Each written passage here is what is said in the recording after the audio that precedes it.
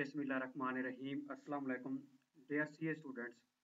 आज हम अपना पी आर सी थ्री मतलब प्रिंसिपल्स ऑफ़ इकोनॉमिक्स का जो हमारा रिवीजन क्लासेस का बैच है, उसको आज हम स्टार्ट करने जा रहे हैं। आज हमने सबसे पहले ये देखना है अपने लेक्चर नंबर वन में कि सब्जेक्ट के रिलेटेड ओवरऑल क्या इन्फॉर्मेशन हमने डिस्कस करनी है, कि हमारे सब्जेक्ट में बेसिकली होती कौन सी इन्फॉर्मेशन है जिसको हम स्टडी करते हैं। इसके बाद हमने ये देखना है कि इसको आपका एग्जामिनर टेस्ट कैसे करेगा और किस नेचर का आपका टेस्ट होगा मतलब आपका पेपर तो उसमें हम जब देखते हैं तो आ, एक तो ये है कि आपका जो इकोनॉमिक्स का पेपर है वो आपका एम सी क्यूज बेस्ड होगा। तो आपको इसमें ये टेंशन नहीं लेनी कि आपने शायद यहाँ पर कोई रिटर्न टेस्ट देना है जिसमें आपको ये भी टेंशन होती है कि पता नहीं हमने एग्जामिनर की एक्सपेक्टेशंस के मुताबिक किसी क्वेश्चन को आंसर किया या नहीं। तो एक तो ये आपकी टेंशन यहाँ पर रिलीज़ हो जाती है। क्योंकि आमतौर पर रिटर्न पेपर जब होता है तो उसमें ये भी होता है क्योंकि हमने कंसेप्ट को डिस्क्राइब करना होता है। तो कभी कभी एग्जामिनर के सोच के मुताबिक हम उसको प्रेजेंट कर पाते हैं, कभी नहीं कर पाते। तो आपके एम टेस्ट में इस तरह का कोई मसला नहीं होगा। उसके बाद क्या होना है? उसके बाद हमें ये देखना है कि सब्जेक्ट में है क्या चीज़। तो इसका नाम क्या है? प्रिंसिपल्स ऑफ़ इकोनॉमिक्स मतलब क्या कि इकोनॉमिक्स के असूल या कवानी तो उसमें जब हम देखते हैं कि इकोनॉमिक्स में हम ओवरऑल तीन चीज़ों को डिस्कस करते हैं और चार लोगों को डिस्कस करते हैं। सबसे पहले हमेशा मैं यही बताता हूँ, क्या चीज़ें? तीन चीज़ें और चार लोग। वो तीन चीज़ें कौन कौन सी हैं? एक होती हैं गुड्स एक होती हैं सर्विसेज़ और इसके अलावा एक होता है मनी और चार लोग कौन कौन से हैं? चार लोगों में एक है अकेला बंदा जिसे हम कहते हैं इंडिविजुअल या उसके घर के अफराद के साथ अगर हम उसको काउंट करें तो हम कहते हैं हाउस होल्ड इंडिविजुअल या हाउस होल्ड उसके बाद क्या है फार्म उसके बाद क्या है गवर्नमेंट और फिर उसके बाद है फॉरेन ट्रेडर्स इकोनॉमिक्स हमने कहा कि तीन चीज़ें होंगी और चार लोग होंगे। तीन चीज़ें कौन कौन सी? एक गुड्स एक सर्विसेज़ और एक मनी इनको मैं एक्सप्लेन अभी करता हूँ। इसके बाद चार लोग कौन से हैं? एक है इंडिविजुअल या हाउस होल्ड उसके बाद फार्म फिर गवर्नमेंट और फिर फॉरन ट्रेडर तो हमें जो सबसे पहले हमने देखनी है कि वो कौन सी तीन चीज़ें हैं जिनको हम इकोनॉमिक्स में डिस्कस करते हैं। तो इसके एग्ज़ाम्पल लेने के लिए मैं हमेशा एग्जांपल देता हूँ कि सपोज़ एक डॉक्टर है और एक पेशेंट है। ठीक है? अब ये पेशेंट डॉक्टर के पास गया है अपना इलाज कराने।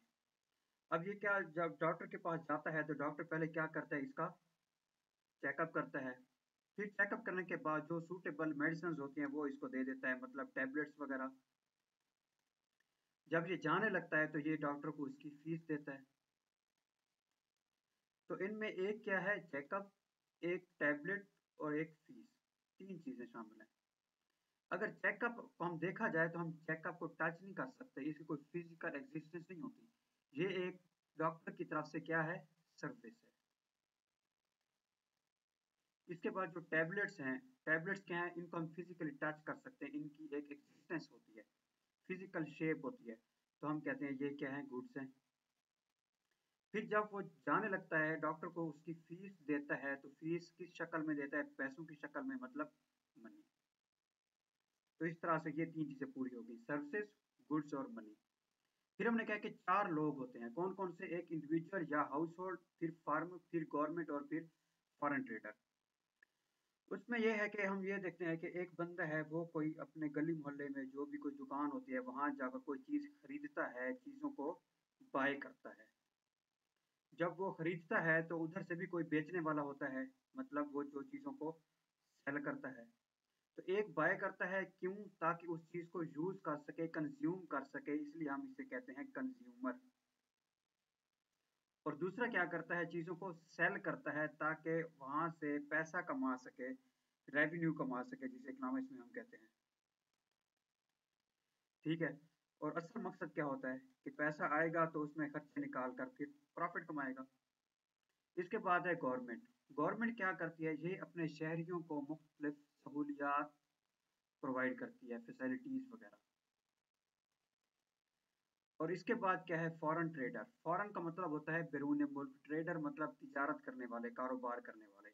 तो जो अपने मुल्क और दुनिया के बाकी मुल्कों के दरमियान ट्रेड यानी कि बिज़नेस या कारोबार करते हैं, हम कहते हैं ये फॉरेन ट्रेडर्स हैं। इसकी मजीद आगे क्लासिफिकेशन है।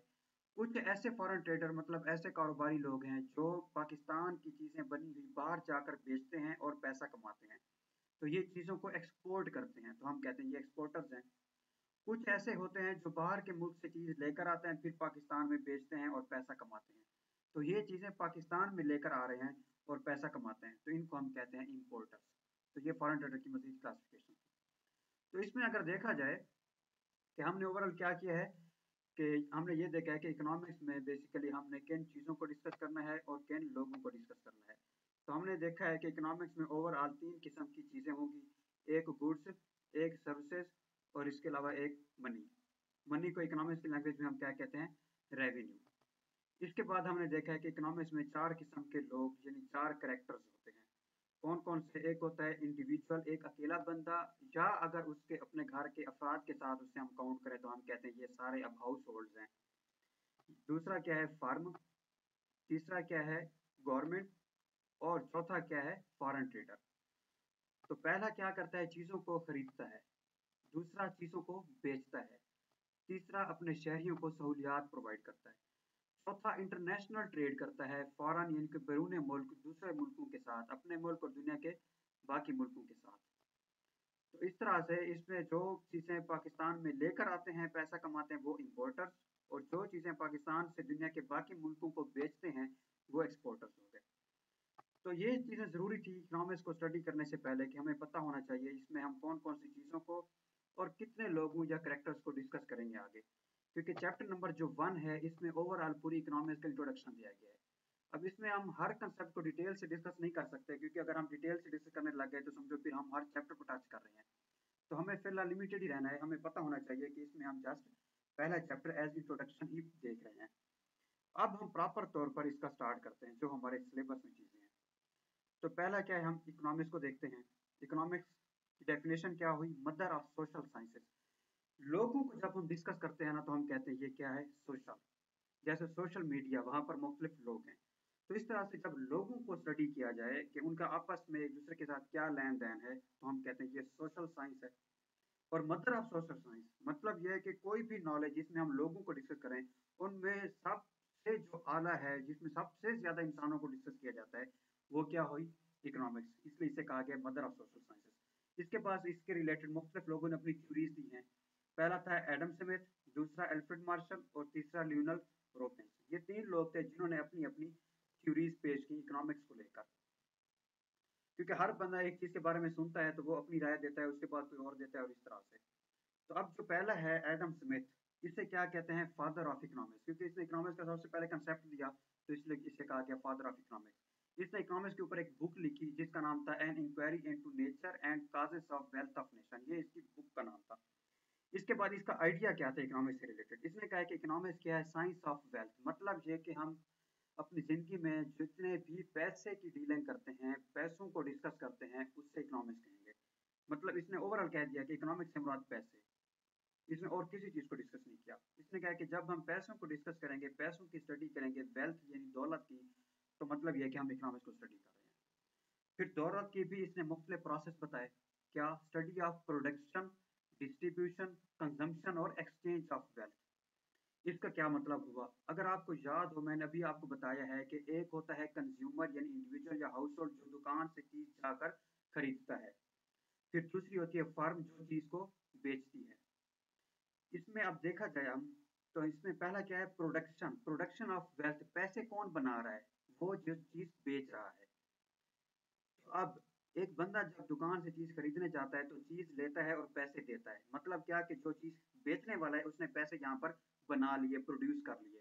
तो ये क्या हुआ? प्रोडक्शन ऑफ़ वेल्थ अब वो जो चीज़ बेच रहा है दुकानदार, अब वो ये नहीं कि अकेला बंदा बैठा है और चीज़ बेच रहा है। उसके अंदर उसके मुख्तलिफ़ एक्सपेंसेस भी हैं। हो सकता है कोई बड़ी फैक्ट्री है, वहाँ पर उसने मुख्तलिफ़ लोगों को काम पे लगाया हुआ है। तो जो चीज़ें बेच कर वो पैसा कमा रहा है, उन पैसों में से फिर वो अपने जो मुलाजमीन हैं या दुकान का किराया है उसको भी उन खर्चों में से निकालता है, वो खर्चे पूरे करता है। तो अब वो जो पैसा उसने कमाया था, उसे तकसीम करता है। मुलाजमीन की तनख्वाहें देकर, दुकान का किराया वगैरह देकर। तो पहले उसने पैसा कमाया, चीज़ बेचा, चीज़ बेची। उसके बाद उसने क्या किया? डिस्ट्रीब्यूट किया है। अपने मुख्तलिफ़ लोगों में जो उसके लेबर थे, काम करने वाले मुलाजमीन या दुकान का किराया वगैरह। उसके बाद, अब पहले तो काम प्रोडक्शन और डिस्ट्रीब्यूशन देखा जाए तो ये सेलर की तरफ़ से हो रहे हैं, जो चीज़ को बेच रहा है, यानी फार्म जो दूसरा दूसरा बंदा था इकोनॉमिक्स में। इसके बाद क्या कंजम्पशन और एक्सचेंज ऑफ़ वेल्थ कंजम्पशन का मतलब होता है चीज़ों को इस्तेमाल करना। और ये किस चीज़ की कंजम्पशन है? Consumption and exchange of wealth यानी पैसे को इस्तेमाल करना। तो पैसे को इस्तेमाल अगर देखा जाए तो जो चीज़ खरीदने गया था, उसने क्या किया था? उसने चीज़ खरीदी और पैसा दिया, यानी पैसे को कंज्यूम किया, पैसे को खर्च किया। तो हम देख सकते हैं यहाँ पर जो चीज़ खरीदने वाला था बायर यानी इंडिविजुअल या हाउस होल्ड उसने चीज़ खरीदी और पैसे दिए। तो हमने क्या कहा कि इसने वेल्थ को, पैसों को कंज्यूम किया है यूज़ किया है, खर्च किया है तो ये कंजम्पशन ऑफ़ वेल्थ हुआ। उसके साथ आगे क्या है? फोर्थ एक्सचेंज ऑफ़ वेल्थ ये भी एक हद तक देखा जाए तो ये भी उसी चीज़ खरीदने वाले के रिलेटेड है। वो कैसे? कि उसने चीज़ ली और पैसे दिए। ये क्या हुआ? तबादला हुआ। किसका पैसों का तबादला हुआ। उसने चीज़ ली और पैसे दिए उसके मुतबादल में। इस तरह से जो एडम स्मिथ था, उसने कहा कि हम अपनी ज़िंदगी में पैसे की जितनी भी डीलिंग करते हैं, उसे क्या कहते हैं? इकोनॉमिक्स उसने कहा कि पैसे की डीलिंग चार किस्म के प्रोसेस में होती है। पैसा पहले कोई बनाता है, फिर उसे तकसीम करता है। इसी तरह से कोई पैसे को कंज्यूम करता है या एक्सचेंज करता है। तो पहले दो फ़ंक्शन प्रोडक्शन और डिस्ट्रीब्यूशन फर्म से रिलेटेड समझ लें, उसके बाद कंजम्पशन और एक्सचेंज बायर यानी कि कंज्यूमर की साइड से देख लें। उसके बाद ये उसकी डिटेल आगे उसने बताई है। प्रोडक्शन ऑफ़ वेल्थ क्या मतलब? Through production of goods and services by combining four factors of production अब ये और चीज़ आ गई है। मैंने आपको ऑलरेडी जो प्रोडक्शन बताई हुई है ना, ये उसी की आगे डिटेल दे रहा है कि प्रोडक्शन ऑफ़ वेल्थ कैसे करते हैं। Through production of goods and services मैंने कहा कि उसने जो चीज़ बेची है, पैसा कमाया है। अब वो बता रहा है कि चीज़ तो बेची, पैसा कमाया, चीज़ कैसे बनाई? जो बेची है उसने। तो किस तरह बनाई? By combining four factors of production अब हमने देखना है कि ये फैक्टर्स ऑफ़ प्रोडक्शन क्या होते हैं। इसके एग्जांपल उसने आगे दे दी हुई है लैंड लेबर कैपिटल और एंटरप्रेन्योर मतलब क्या हुआ कि सपोज़ समझ लें, एक बंदा है जिसका नाम है मिस्टर ए। उसने किसी मोटिवेशनल स्पीकर की सपोज़ समझ लें स्पीच सुन ली है कि इंसान को अपना कारोबार करना चाहिए। उसके बाद उसने अपने दोस्त से कहा कि यार मैं अपना कारोबार करना चाहता हूँ। उसके दोस्त ने कहा कि कारोबार ऐसे बैठे बैठे नहीं हो जाता। उसके लिए बहुत ज़्यादा एक्सपेंसिव वगैरह करने पड़ते हैं। और हिम्मत और जज्बा भी होना चाहिए क्योंकि कारोबार करते वक्त हमें प्रॉफिट भी हो सकता है और इसके साथ लॉस का भी खदशा होता है। वो कहता है कि अच्छा बताओ, कारोबार करने के लिए क्या क्या चीज़ें ज़रूरी हैं? वो कहता है कि, कारोबार के लिए बुनियादी तौर पर चार चीज़ें ज़रूरी हैं। तो वो मिस्टर ये पूछता है कि, कौन सी चार चीज़ें? वो कहता है कि, तुमने कौन सा कारोबार करना है? वो कहता है कि, मैंने सोचा हुआ है कि मैंने अक्सर देखा ये जो फ़ोटो कापी और प्रिंटिंग का बिज़नेस है ना, ये बड़ा चलता है। मुझे लगता है कि इसमें बड़ा प्रॉफिट होता है, इसमें लॉस नहीं हो सकता। तो मैंने ये करना है। तो इसके लिए बताओ कि मुझे किन चीज़ों की ज़रूरत पड़ेगी। वो कहता है कि ठीक है, सबसे पहले ज़ाहिर सी बात है, तुम कोई ना कोई दुकान लोगे। वो कहता है, बिल्कुल। फिर उसके बाद वो कहता है कि फ़ोटो कापी और प्रिंट निकालने के लिए या तो खुद बैठोगे या किसी बंदे को रखोगे। वो कहता है, बिल्कुल, ये भी है। इसके बाद वो कहता है कि फ़ोटो कापी और प्रिंट कैसे निकालोगे? ज़ाहिर सी बात है, किसी न किसी मशीनरी से। तो मतलब क्या हुआ कि तुम्हें उस दुकान में एक तो दुकान पहले लेनी है, उसके बाद एक बंदा रखना है जो फ़ोटो कापी या प्रिंट निकाले, और वो मशीन रखनी है जिसके थ्रू तुमने फ़ोटो कापी या प्रिंटिंग करनी है। ये तीन चीज़ें। वो कहता है कि चौथी चीज़ कौन सी है? वो कहता है कि चौथी चीज़ ये है कि तुम्हारे अंदर हिम्मत भी है या नहीं, कि तुम कारोबार स्टार्ट तो करो, ये ना हो कि एक महीने लॉस हो और तुम कहो कि ये कारोबार कोई अच्छी चीज़ नहीं है। अगर तो तुम स्टार्ट में कोई बेयर कर सको लॉसेस तब तो करो कारोबार। वो कहता है कि नहीं, मेरे अंदर हिम्मत जज्बा है, मैं ये रिस्क लेने के लिए रेडी हूँ। चाहे मुझे प्रॉफिट हो या लॉस हो वो कुछ ज़्यादा ही जज्बाती था। तो वो कहता कि ठीक है मतलब यह है कि आप तुम चारों चीज़ें प्रोवाइड करने के लिए रेडी हो। तो तुम्हें अगर बिज़नेस करना है तो तुम्हें अगर कोई चीज़ अपना प्रोडक्ट बनाना है बेचने के लिए तो तुम्हें चार कंपोनेंट्स चार चीज़ों की ज़रूरत पड़ेगी, जिसे हम कहते हैं फैक्टर्स ऑफ़ प्रोडक्शन कि प्रोडक्शन करने के लिए कौन सी चीज़ें ज़रूरी हैं। वो कहता है कि सबसे पहले क्या करोगे तुम? कोई दुकान लोगे लैंड मतलब कोई शॉप वगैरह। उसके बाद वहाँ पर किसी लेबर को रखोगे, ठीक है, कोई भी वर्कर वगैरह। उसके बाद वो कहता है कैपिटल मतलब कोई भी मशीनरी, फ़ोटो कापी प्रिंटिंग की। उसके बाद एंटरप्रीन्योरशिप मतलब क्या हुआ कि रिस्क लेने के लिए भी रेडी हो। तो हमने कहा था कि एक बंदा चीज़ लेने गया तो किसी ने चीज़ बेची। जिसने बेची है, उसने पैसे लिए हैं। तो पैसे मतलब लिए हैं तो पैसे प्रोड्यूस किए हैं। वेल्थ की प्रोडक्शन हुई है। और इस वेल्थ की प्रोडक्शन क्यों हुई? क्योंकि उसने चीज़ बेची। और जो बेची, वो बनाई भी तो थी पहले। तो बनाई कैसे थी? वो चार चीज़ों को इस्तेमाल करके बनाई थी, जिसे हम कहते हैं factors of production land labour capital और एंटरप्रीनियर उसके बाद क्या है? डिस्ट्रीब्यूशन ऑफ़ वेल्थ हमने कहा है कि जो चीज़ एक बना कर आके बेचता है, पैसा कमाता है, फिर वो अपने मुलाजमीन वगैरह में तकसीम करता है, क्योंकि उसने तनख्वाहें भी तो वहीं से निकालनी है, दुकान का किराया भी। तो इसका मतलब क्या हुआ? डिस्ट्रीब्यूशन का। Among factors of production as reward बदले के तौर पर कि उसने जब प्रोडक्ट बनाया तो इन चार चीज़ों को यूज़ किया था ना, फिर जब प्रोडक्ट बेचा तो पैसे आए तो वो भी इनको बदला दिया कि यार मैंने तुमको इस्तेमाल किया है तो उसके बदले में ये लो पैसे। जब पैसे कमाए तो उसने कुछ दुकान का किराया दिया, फिर जो वर्कर था उसकी सैलरी थी। जो मशीनरी इस्तेमाल की, आप समझ ले, यहाँ पर बिज़नेस और बिज़नेस का ओनर दो अलग बंदे हैं। तो शुरू में जो मशीनरी रखी थी वो बिज़नेस के ओनर ने रखी थी। ऐसे समझ ले उसने उधार के तौर पर रही थी तो वो उसका खर्चा निकालता है वहाँ से। तो इसको कैपिटल को वो एक इंटरेस्ट के तौर पर देगा। उसके बाद एंटरप्रेन्योर, उसने जो हिम्मत करके कारोबार किया, उसका मकसद था कि मैं कारोबार से मुनाफा कमाऊं, प्रॉफिट। तो एंटरप्रेन्योरशिप का रिवार्ड क्या होता है? प्रॉफिट। उसके बाद हमने देखा है, कंजम्पशन ऑफ़ वेल्थ क्या है through buying goods and services. कि जो बायर था, उसने पैसे को कैसे खर्च या कंज्यूम किया है, गुड्स या सर्विसेज़ को बाय करके, परचेज करके और एक्सचेंज भी यही था कि उसने चीज़ें खरीदी और पैसे दिए। उसके बाद जो दूसरा इकोनॉमिस्ट था एल्फ्रेड मार्शल उसने क्या किया? उसने फिर बुक लिखी, उसने इसका नाम प्रिंसिपल्स ऑफ़ इकोनॉमिक्स रखा है, जो इस टाइम हमारी पी थ्री का नाम भी यही है। उसने आइडिया क्या दिया? उसने कहा कि economics is science of wealth ठीक है इकोनॉमिक्स क्या है? Science of sorry wealth fair Adam Smith उसने कहा साइंस ऑफ़ वेल्थ जो एल्फ्रेड मार्शल इसने कहा साइंस ऑफ़ वेलफेयर वेलफेयर का मतलब क्या होता है? भलाई। अब अगर देखा जाए तो एडम स्मिथ ने कहा था कि हम पैसे की डीलिंग को इकोनॉमिक्स कहते हैं। इसने कहा है कि नहीं, हम इंसान की जरूरियात पूरी करने के लिए जो कुछ करते हैं, उससे इकोनॉमिक्स कहते हैं। अब एडम स्मिथ ने भी कोई इसलिए नहीं कहा था कि पैसे हमें, पैसे की डीलिंग करते हैं ताकि हम पैसे को सेव करें बचाएँ लालच के तौर पर। नहीं, उसने भी ज़ाहिर सी बात है पैसे इसलिए कहे ताकि पैसे होंगे तो हम आगे आगे जरूरियात पूरी कर सकेंगे। तो इसने क्या कहा इसने कहा है कि नहीं, बस इंसान की जरूरियात पूरी हो जाए तो हम इसे इकोनॉमिक्स कहेंगे।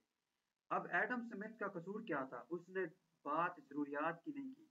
उसने डायरेक्ट पैसे की बात कर दी। मकसद उसका भी शायद यही था कि पैसे होंगे तो आगे हम जरूरियात पूरी करेंगे। लेकिन उसने गलती से जो स्टेटमेंट दी, उसमें उसने लास्ट वेल्थ यूज़ कर लिया। इसके बाद लोगों ने समझा, ये तो पैसे की बात कर रहा है, शायद ये कोई लालची इंसान है।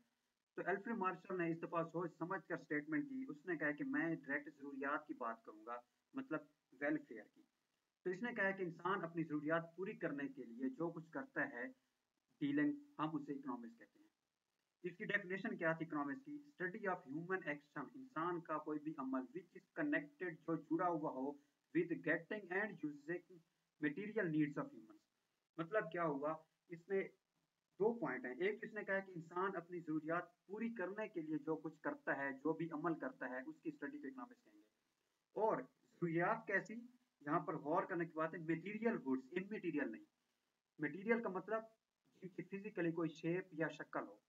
तो अगर देखा जाए, जो हमने स्टार्ट में देखा था, हमने कहा था कि इकोनॉमिक्स में तीन चीज़ें होंगी गुड्स सर्विसेज़ और मनी तो इधर देखा जाए तो इसने जस्ट मटेरियल की बात की है गुड की बात की है सर्विस की बात नहीं की।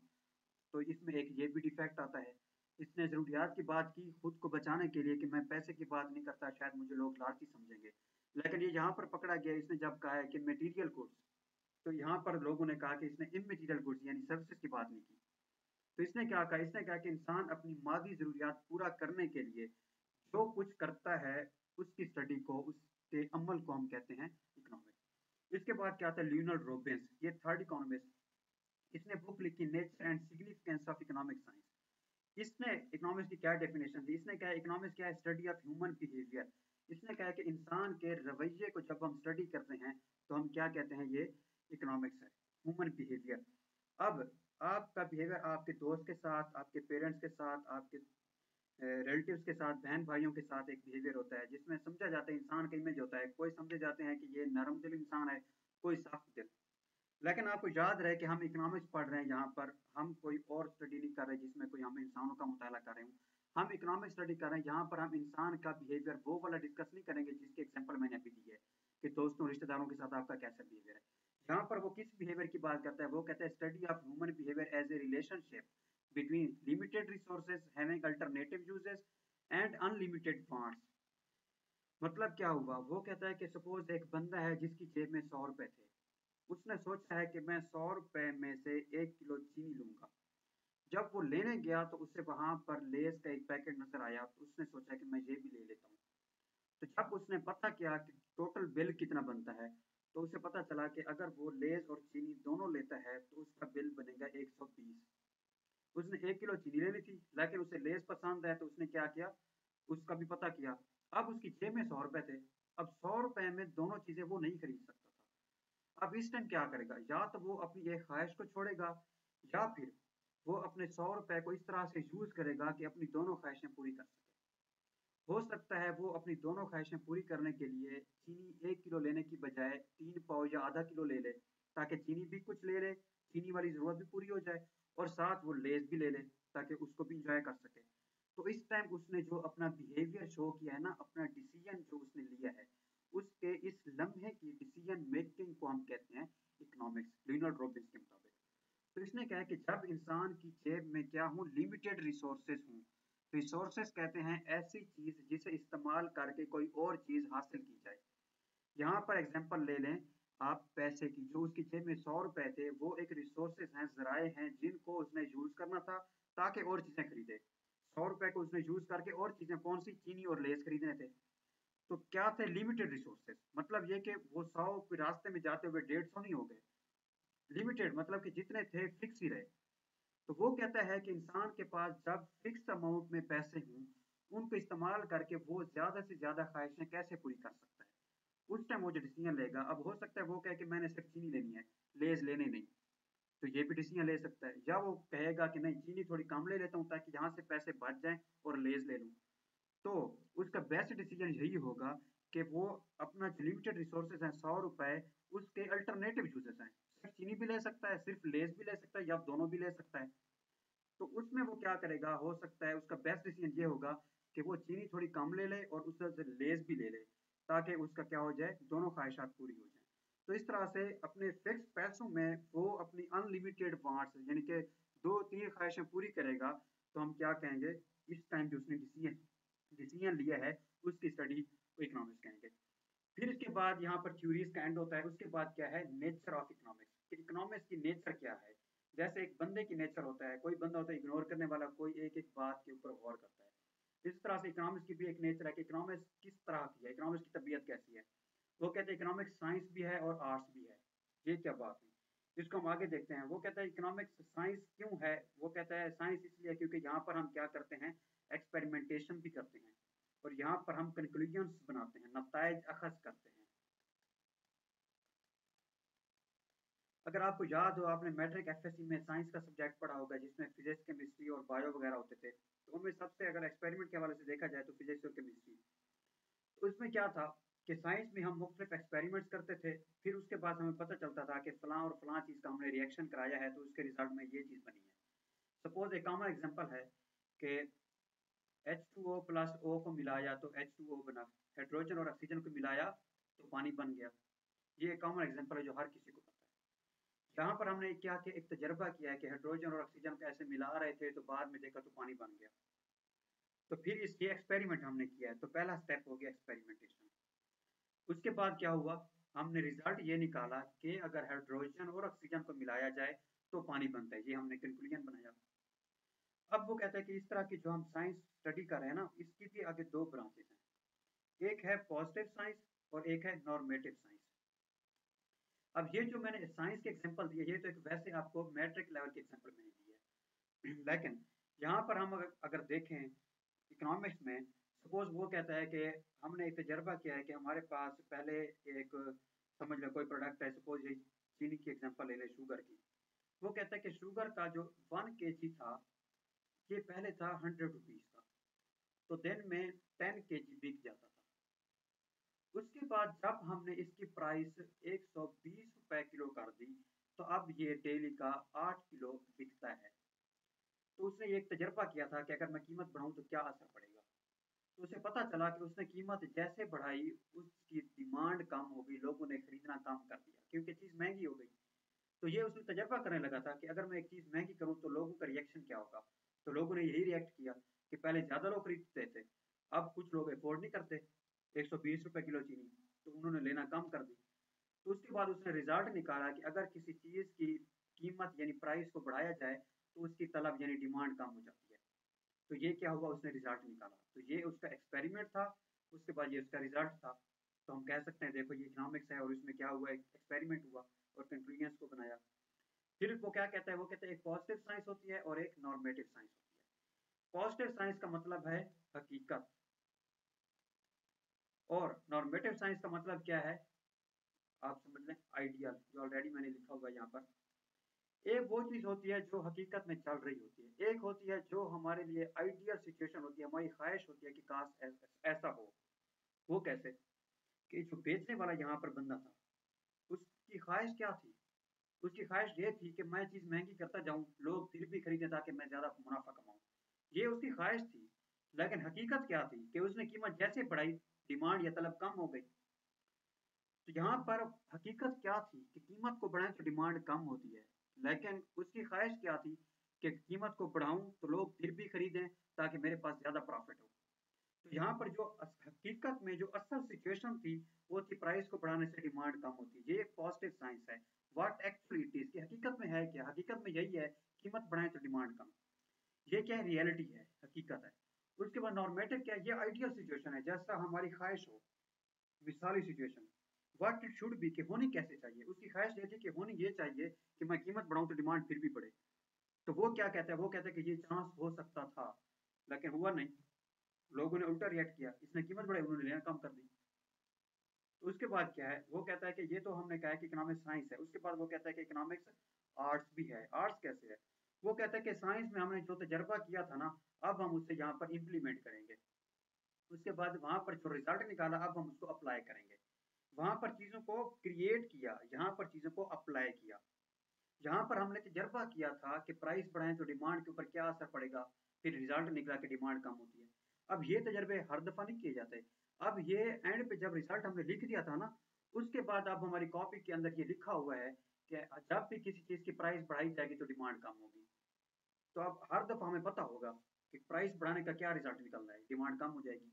अब वो जो तजर्बा एक दफ़ा हम कर चुके थे, अब हर दफ़ा हम उसको अप्लाई करेंगे। अब हमें डिसीज़न जब लेंगे तो हमें एक स्टेटमेंट ऑलरेडी मिली हुई है।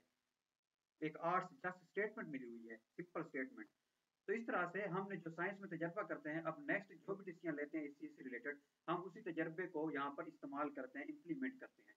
और वो जो वहाँ पर रिज़ल्ट अखज किया कि प्राइस बढ़ाने से डिमांड कम हुई, अब हमें जिस चीज़ का यकीन हो गया, अब हम उसी को अप्लाई करेंगे। जब भी कीमत बढ़ाने लगेंगे तो हमारे दिमाग में होगा कि इसकी डिमांड कम होगी चीज़ की। उसके बाद क्या होगा क्लासिफिकेशन ऑफ़ इकोनॉमिक्स इकोनॉमिक्स को उसने मजीद आगे डिवाइड कर दिया स्टेजेस में। एक क्या है? माइक्रो इकोनॉमिक्स है और एक है मैक्रो इकोनॉमिक्स माइक्रो का मतलब क्या है? नेम डेरिवेशन नाम निकला कहाँ से है? Derive from Greek word micro means small या मिलियंस पार्ट माइक्रो का मतलब यही होता है कि छोटा। अब इसकी डेफिनेशन क्या है? Deals with behaviour of consumers and firm in their normal daily matters अगर आपको याद हो, मैंने बताया है कि इकोनॉमिक्स में चार लोग होते हैं।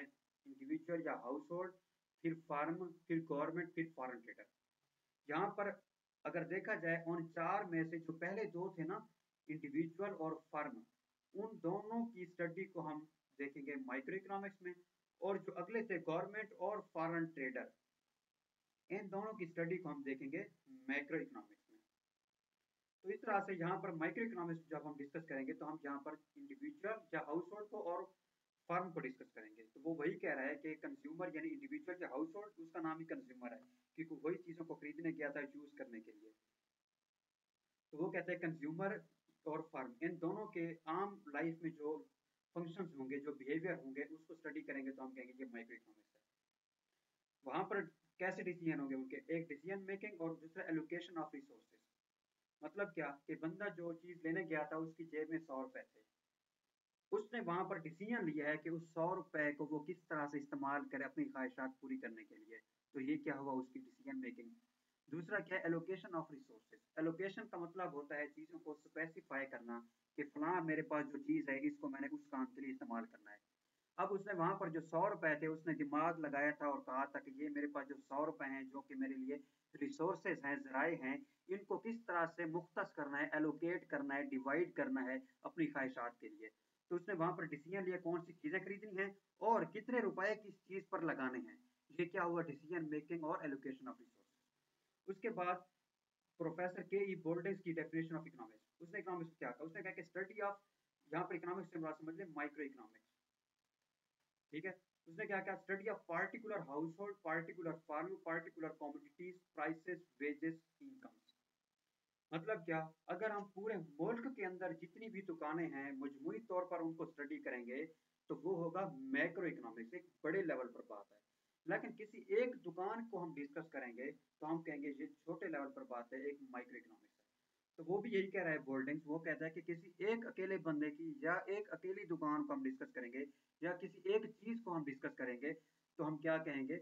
ये क्या है? माइक्रो इकोनॉमिक्स इसी तरह से उन चीज़ों की प्राइसेस को या जो फार्म यानी फ़ोटो कॉपी वाली दुकान में बंदा काम कर रहा था, उस अकेले की तनख्वाह को हम डिस्कस करेंगे अगर वेजेस को या इनकम को तो हम कहेंगे ये माइक्रो इकोनॉमिक्स है। तो वो क्या कहता है point to be discuss in micro economics micro economics में कौन कौन सी चीज़ों को डिस्कस किया जाता है? पहला क्या है कंज्यूमर थ्योरी फिर डिमांड एंड सप्लाई मार्केट फिर production theory and cost of production ये क्या हुआ कंज्यूमर थ्योरी से मुराद के वो अकेला बंदा जो चीज़ दुकान पर खरीदने गया था चीज़ों को इस्तेमाल करने के लिए कंज्यूम करने के लिए। तो वो कहते हैं माइक्रो इकोनॉमिक्स में हम उस अकेले बंदे को भी डिस्कस करेंगे, उससे रिलेटेड जो थ्योरी है। उसके बाद वो क्या कहता है कि वो जो चीज़ खरीदने गया था ना, हमने कहा था इसने चीज़ की तलब की है, यानी डिमांड और जिसने चीज़ बेची थी, वो कौन था? फार्म यानी सेलर तो उसने सब चीज़ को सप्लाई किया था तो उसको भी माइक्रो में स्टडी करेंगे। क्योंकि हमने कहा है कि यहाँ पर कंज्यूमर और फार्म को माइक्रो में। फिर वो कहते हैं प्रोडक्शन थ्योरी प्रोडक्शन किसने की थी? वही फार्म जिसने चीज़ बेची थी तो पीछे प्रोड्यूस की थी ना फैक्टर्स ऑफ़ प्रोडक्शन की मदद से। तो उसको भी हम डिस्कस करेंगे। फिर कास्ट ऑफ़ प्रोडक्शन के उसने जो चीज़ बनाई थी, चार चीज़ों को इस्तेमाल करके तो चार चीज़ों का खर्चा उसने किया था कास्ट लगाई थी तो उस प्रोडक्शन के ऊपर। तो उसको बीसी में डिस्कस करेंगे, क्योंकि ये सारी चीज़ें, ये production theory cost of production ये दोनों फर्म से रिलेटेड है। और ये जो कंज्यूमर थ्योरी और डिमांड है, ये क्या है? ये इंडिविजुअल या हाउस होल्ड से रिलेटेड है, और ये सप्लाई भी फार्म से रिलेटेड है। उसके बाद वो कहते हैं माइक्रो इकोनॉमिक्स का स्कोप क्या है? मतलब ये मजीद डिटेल में इसमें कौन कौन सी चीज़ें हम डिस्कस करते हैं? तो वो क्या कहते हैं? एक तो वो कहते हैं कॉमोडिटी प्राइसिंग कॉमोडिटी कहते हैं उसकी गुड यानी चीज़ को, जो मैंने कहा था गुड्स या सर्विस जिनकी फिजिकली कोई शक्ल हो। तो उन गुड्स को हम कॉमोडिटी कहते हैं। तो वो कहते हैं चीज़ों की हम कीमत को अगर स्टडी करते हैं माइक्रो इकोनॉमिक्स में, फिर वो चीज़ लेने गया तो उसकी डिमांड को हम डिस्कस करते हैं। Determine the prices of goods and services through demand and market supply ये सारी बातें वही हैं, लेकिन यह कि मजीद डिटेल हम आगे इंशाल्लाह देखेंगे नेक्स्ट चैप्टर में। फिर वो क्या कहते हैं factor of production prices pricing factor of production कौन से थे? लैंड लेबर कैपिटल एंटरप्रेन्योर तो उनके ऊपर जो जो हमने पैसे लगाए, उनको तनख्वाहें दी, दुकान पे किराया निकाला, उसका प्रॉफिट निकाला, उसका इंटरेस्ट निकाला कैपिटल का तो वो उनकी प्राइसिंग थी एक किस्म की फैक्टर ऑफ़ प्रोडक्शन की. तो उसके बाद वेलफेयर थ्योरी कहता है allocation of resources for maximum welfare of society ठीक है? मतलब क्या है कि इंसान अपनी ज़रूरत पूरी करने के लिए अपने चीज़ों को जैसे जैसे एलोकेट करता है कि मेरे दस रुपए इस काम के लिए हैं, बीस उस काम के लिए हैं उसके बाद क्या की इकोनॉमिक क्वेश्चन माइक्रो इकोनॉमिक्स में हम एक और चीज़ भी देखते हैं what to produce how to produce और फॉर होम टू प्रोड्यूस ठीक है? अब इसमें क्या हुआ कि सपोज़ हम एक बंदा है जो कोई भी कारोबार करता है ना, वो सबसे पहले ये देखता है कि मैं कारोबार किस चीज़ का करूँ, कौन सी चीज़ बनाऊँ। उसके बाद वो ये देखता है कि अब मैंने सोच लिया कि मैंने फलां प्रोडक्ट बनाना है, फिर मैंने ये देखना कि इसको बनाऊँगा कैसे, कौन सी मशीनरी रखूँगा कौन कौन से वर्कर्स रखूँगा। इसके बाद वो ये देखता है कि ये मेरा प्रोडक्ट बिकेगा ज़्यादा कहाँ पर? इसकी ज़्यादा डिमांड होगी कहाँ पर? मतलब कौन से लोग इसको खरीदेंगे? फार होम टू प्रोड्यूस तो ये चीज़ें सारी प्रोडक्शन से रिलेटेड हैं, यानी फार्म से रिलेटेड हैं तो फार्म कहाँ है? माइक्रो इकोनॉमिक्स में। इसके बाद वो माइक्रो इकोनॉमिक्स की इंपॉर्टेंस का बताता है? Studies behaviour of individual economic agents individual economic agents particular individual या पार्टिकुलर फर्म इंडिविजुअल कहते हैं अकेले को। तो एक अकेला बंदा या एक अकेली दुकान। तो हम माइक्रो इकोनॉमिक्स में स्टडी करेंगे। फिर maximum allocation of scarce resources scarce वही कहते हैं लिमिटेड को, जिस, जो कि शॉर्टेज हो मतलब शॉर्ट चीज़ हो मुख्तसर हो, या हम कह सकते हैं कम मिकदार में हो।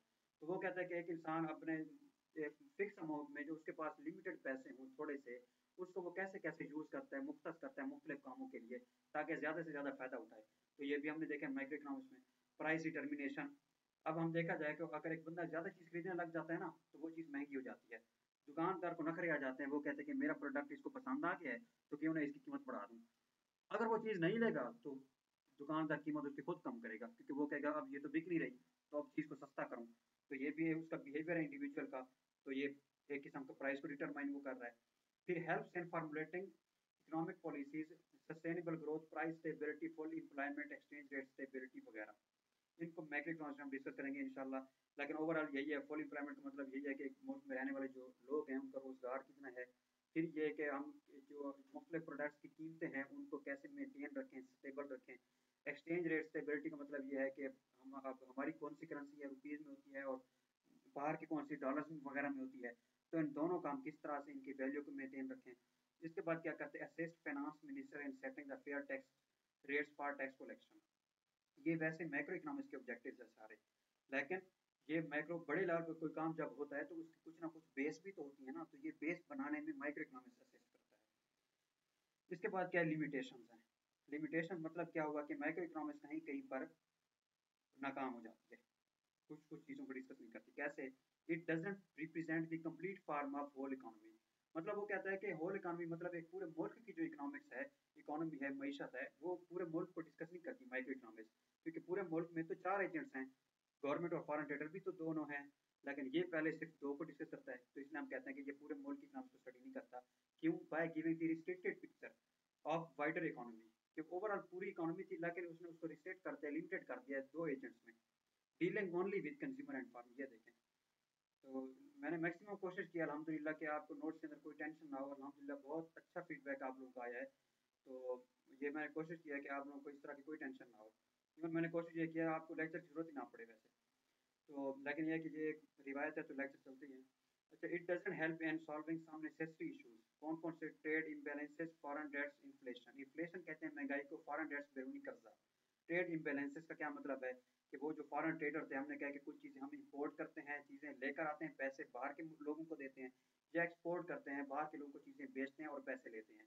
तो इन दोनों पैसों की वैल्यू में अगर कोई ऊपर नीचे हो जाए बैलेंस ना हो, कि ज़्यादा पैसा मुल्क से बाहर जा रहा हो और कम आ रहा हो, या ज़्यादा आ रहा हो और थोड़ा कम जा रहा हो बाहर तो इस तरह से दोनों में अगर इक्वल इक्वालिटी या बैलेंस ना हो तो हम कहते हैं ट्रेड इम्बेलेंसेस उसके बाद दूसरी इसकी ब्रांच आ जाती है इकोनॉमिक्स की, कौन सी मैक्रो इकोनॉमिक्स मैक्रो इकोनॉमिक्स की नेम डेरिवेशन क्या है मैक्रो मींस लार्ज डेफिनेशन क्या है? Deals with behaviour of government and foreign trader ये देख लें जो दूसरे हमारे तीसरा और चौथा जो कैरेक्टर था जिसे इकोनॉमिक्स की लैंग्वेज में हम कहते हैं एजेंट्स तो अब वो तीसरे और चौथा, यानी थर्ड और फोर्थ एजेंट की स्टडी मैक्रो इकोनॉमिक्स में होती है।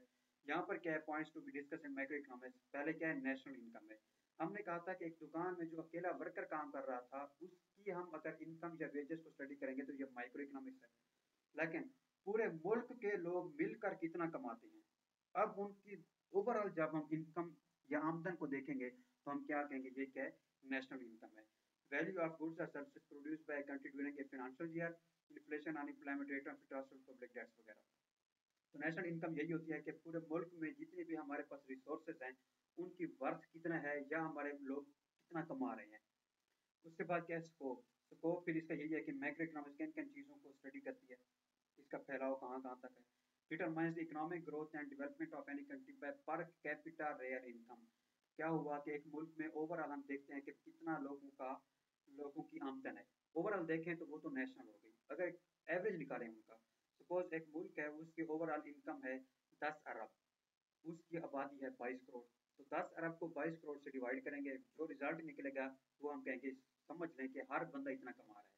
तो पर कैपिटल कहते हैं कि इंडिविजुअल की money earn per person in nation और average income of people and ये देखें जहाँ पर मैंने लिख दिया already determines national income worth of goods और service produce in a country in one financial year अब यहाँ पर अगर हम देखें तो इस मुल्क में जो भी चीज़ें हैं, या तो वो दूसरी चीज़ों को इस्तेमाल करने के लिए यूज़ हो रही हैं, जैसे कि हमारी फोटोकॉपी और प्रिंटिंग की एग्जांपल के अंदर मशीनरी जो थी, वो भी एक चीज़ थी, लेकिन वो दूसरी चीज़ को इस्तेमाल करने के लिए, दूसरी चीज़ को बनाने के लिए इस्तेमाल हो रही थी।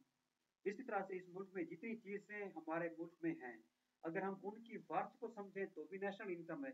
या उन चीज़ों को खरीदो फरोख्त करते हैं, तब पैसे आते हैं तो वो भी नेशनल इनकम हो गई तो अगर हम डायरेक्ट कहें पैसे की बात तो भी इनकम है नेशनल इनकम या हम कहेंगे उन सारी चीज़ों की जितनी वैल्यू या वर्थ है तो वो भी नेशनल इनकम हो गई। उसके बाद क्या इंपॉर्टेंस है? इंपॉर्टेंस इसकी क्या है? अच्छा इसके बाद अभी रहता है। अच्छा tells how to maintain the price level in country in order to achieve full employment तो इसको वहाँ डिस्कस करेंगे। कि वहाँ मुल्क में ओवरऑल चीज़ों की प्राइस कितना होना चाहिए। Tells how to maintain balance of payment ये वो इम्पोर्ट और एक्सपोर्ट के दरमियान जो पैसों का तबादला है, उन दोनों में बराबरी या बैलेंस कैसे हो। Gives directions to authorities of country to develop the result oriented economic policies, monetary policy, fiscal policy, commercial policy और exchange rate पॉलिसी अब यहाँ पर हम देखें, अगर ओवरऑल हिंट देता हूँ कि पहला क्या है रिज़ल्ट ओरिएंटेड इकोनॉमिक पॉलिसी मतलब यह है कि जो भी इकोनॉमिक पॉलिसीज़ बनाए, उनका कोई अच्छा रिज़ल्ट कोई ना कोई रिज़ल्ट होना चाहिए। मॉनिटरी पॉलिसी मॉनिटरी पॉलिसी होती है, हमारे मुल्क का जो सबसे बड़ा बैंक है, जो ओवरऑल सारे बैंक को कंट्रोल करता है, उसे हम सेंट्रल बैंक या स्टेट बैंक कहते हैं। तो स्टेट बैंक की जो पॉलिसी होती है, हम कहते हैं ये मॉनिटरी पॉलिसी है। फिर हमारी हुकूमत इस मुल्क में जो जो पैसों से रिलेटेड पॉलिसीज़ बनाती है बजट से रिलेटेड कि हमारे, अब इस साल का बजट इस काम के लिए इस्तेमाल होगा, इस साल का इतने, इतना जो बजट है, वो इस चीज़ के लिए इस्तेमाल होगा, मुख्तलिफ़ प्रोजेक्ट्स के ऊपर। तो गवर्नमेंट की जो पैसों से रिलेटेड पॉलिसी होती है, हम कहते हैं ये फ़िज़िकल पॉलिसी है फ़िज़िकल पॉलिसी फ़िज़िकल मतलब बजट से रिलेटेड इसके बाद क्या है कमर्शियल पॉलिसी ये कमर्शियल का मतलब होता है बेसिकली ओवरऑल जो बिज़नेस यूज़ के लिए होता है. यहाँ पर आप समझ रहे हैं यहाँ पर ये बैंक से रिलेटेड जो आम कमर्शियल बैंक वगैरह छोटे हैं, उनसे रिलेटेड भी पॉलिसी है. एक्सचेंज रेट पॉलिसी कैसे कहते हैं? एक्सचेंज रेट बेसिकली कहते हैं कि हमारी करेंसी और दूसरे मुल्कों की करेंसी के दरमियान कितना डिफरेंस है? उनको कैसे एक्सचेंज करते हैं हम? उससे रिलेटेड पॉलिसी को एक्सचेंज रेट पॉलिसी कहते हैं। उसके बाद मैक्रो इकोनॉमिक्स की हम इंपॉर्टेंस देखते हैं कि इसका क्या क्या हमें फ़ायदा है। ये क्या करता है? Determines the level of income and employment and tells how demand supply forces determine the level of interest rate ये क्या करता है? Determine the level of income and employment कि इस मुल्क में रहने वाले लोगों की ओवरऑल इनकम कितना है, आमदन कितना है, और एम्प्लॉयमेंट मतलब क्या होगा कि इस मुल्क में कितने लोग रोज़गार पर हैं, और डिमांड और सप्लाई को भी डिस्कस करता है, लेकिन ओवरऑल मुल्क की लेवल पर। एक मोहल्ले के अंदर एक अकेले बंदे को हम देखें कि वो अगर यहाँ पर दस चीज़ों की डिमांड करता है और फर्म दस चीज़ें सप्लाई करती है। लेकिन इस मुल्क में ओवरऑल जितनी भी यहाँ पर समझ लें फर्म्स हैं, वो कितना सप्लाई कर रही हैं और ओवरऑल मुल्क में जितने भी कंज्यूमर्स हैं, वो कितना डिमांड कर रहे हैं। तो ये मैक्रो में आता है। उसके बाद क्या है? Determine level of interest rate interest किसे कहते हैं? सूद को कहते हैं, जो किसी भी चीज़ के ऊपर सपोज़ आपने किसी बैंक से कर्जा लिया है तो बैंक की पॉलिसी होती है कि ये कर्जा जब वापस करोगे तो इसमें two percent three percent ten percent सूद होगा इंटरेस्ट होगा। सो उससे रिलेटेड भी पॉलिसी मैक्रो इकोनॉमिक्स में आती है। Gives the analysis of different economic forces which helps to achieve sustainable economic growth. ये भी इकोनॉमिक्स मुख्तु इकोनॉमिक पॉलिसी वगैरह प्राइस स्टेबिलिटी भी मैंने वही कहा था कि किस तरह हम इस मुल्क चीज़ों की प्राइस को स्टेबल रख सकते हैं। Determine balance of payment deficit या सरप्लस डेफिसिट कहते हैं कमी को सरप्लस कहते हैं ज्यादती को, जो चीज़ ज़्यादा हो। ठीक है मतलब क्या हुआ कि अगर हम ज़्यादा चीज़ें बाहर के मुल्क को बेच रहे हैं और पैसा कमा रहे हैं तो यहाँ पर ज़्यादा पैसा आ रहा है। मतलब क्या हुआ कि हमारे पास ज़्यादा पैसा है। आप यहाँ पर मिसाल हैं, जैसे एक बंदे का बैंक अकाउंट होता है, इसी तरह से हमारे मुल्क का भी अकाउंट है, जिसे हम कहते हैं करंट अकाउंट अब अगर उस करंट अकाउंट में क्या होते हैं? पैसे होते हैं।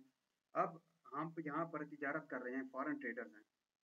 हम ज़्यादा चीज़ें पाकिस्तान से बाहर बेच रहे हैं और पैसा आ रहा है, और कम चीज़ें पाकिस्तान में आ रही हैं और पैसा जा रहा है। तो यहाँ पर जब हम दोनों का रिज़ल्ट निकालेंगे, सौ रुपये आ रहे हैं और अस्सी जा रहे हैं तो बीस बच जाएँगे मतलब बीस एक्स्ट्रा हुए, ये सरप्लस हुआ करंट अकाउंट सरप्लस लेकिन अगर सौ रुपये जा रहे हैं और अस्सी आ रहे हैं तो यहाँ पर बीस रुपये की कमी हुई तो ये टैक्स डेफिसिट हुआ। तो ये फॉरन ट्रेडर यानी बैलेंस ऑफ़ पेमेंट हो गया।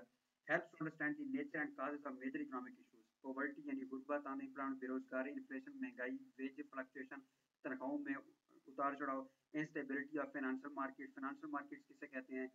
ये ओवरऑल हमारी समझ समझ लें कि जो मशीनरी वगैरह से रिलेटेड जो हैं, और इसके अलावा जो financial institutions related policies and it also provide corrective measures for severe economic problems. मतलब यह कि किसी मुल्क में अगर कोई इकोनॉमिक इशू आ गया है कि उस मुल्क के पास पैसा ही नहीं है कि मुल्क कैसे चलाए तो उसमें भी मैक्रो इकोनॉमिक्स सपोर्ट करती है मुख्तलिफ़ अपनी पॉलिसीज़ के थ्रू अब ये सारी चीज़ें बेसिकली हैं डिटेल वाली। तो यहाँ पर बड़ा मुश्किल है आप लोगों को थोड़ा थोड़ा हिंट देना, थोड़ा समझाना भी और लिमिटेड भी करना, क्योंकि ये ओवरऑल पहला चैप्टर है इंट्रोडक्शन का। उसके लेकिन यह कि मोस्टली तो टीचर्स पहला चैप्टर पहले पढ़ाते नहीं है। लेकिन मैं कोशिश करूँगा आपको पढ़ाना चाहिए, ताकि आपको एटलीस्ट हिंट तो हो जाए पूरी इकनॉमिक्स का लेकिन यह है कि फिर इसको लिमिटेड ही रखना है, ताकि कोई कन्फ्यूज़न भी ना हो। उसके बाद क्या है gives a general idea about economy and ignore the economy at micro level macro क्या है? अब वो पूरे मुल्क को देख रही है, छोटे लेवल को नहीं देख रही। जो माइक्रो थी, वो छोटे लेवल पे देख रही थी, पूरे मुल्क की लेवल पे नहीं देख रही थी इकोनॉमिक्स को। और जो मैक्रो है, वो मुल्क लेवल पे इकोनॉमिक्स को देख रही है और छोटे लेवल पे नहीं देख रही। Takes the aggregate wages as homogeneous sum of wages from different occupations are average. अब, अगर हम माइक्रो इकोनॉमिक्स में देखते हैं ना तो हम एक अकेले बंदे की इनकम को देखते हैं। कि एक अकेला बंदा सपोज़ टीचर है, वो टीचिंग के थ्रू पैसा कमा रहा है। अब पूरे मुल्क में हमने देखा है कि यहाँ पर दस अरब ओवरऑल मुल्क की इनकम है तो हमने वहाँ की आबादी के ऊपर उसे डिवाइड कर दिया। तो हमने कहा कि यहाँ पर आप समझ लें कि बीस हज़ार हर बंदे की इनकम है।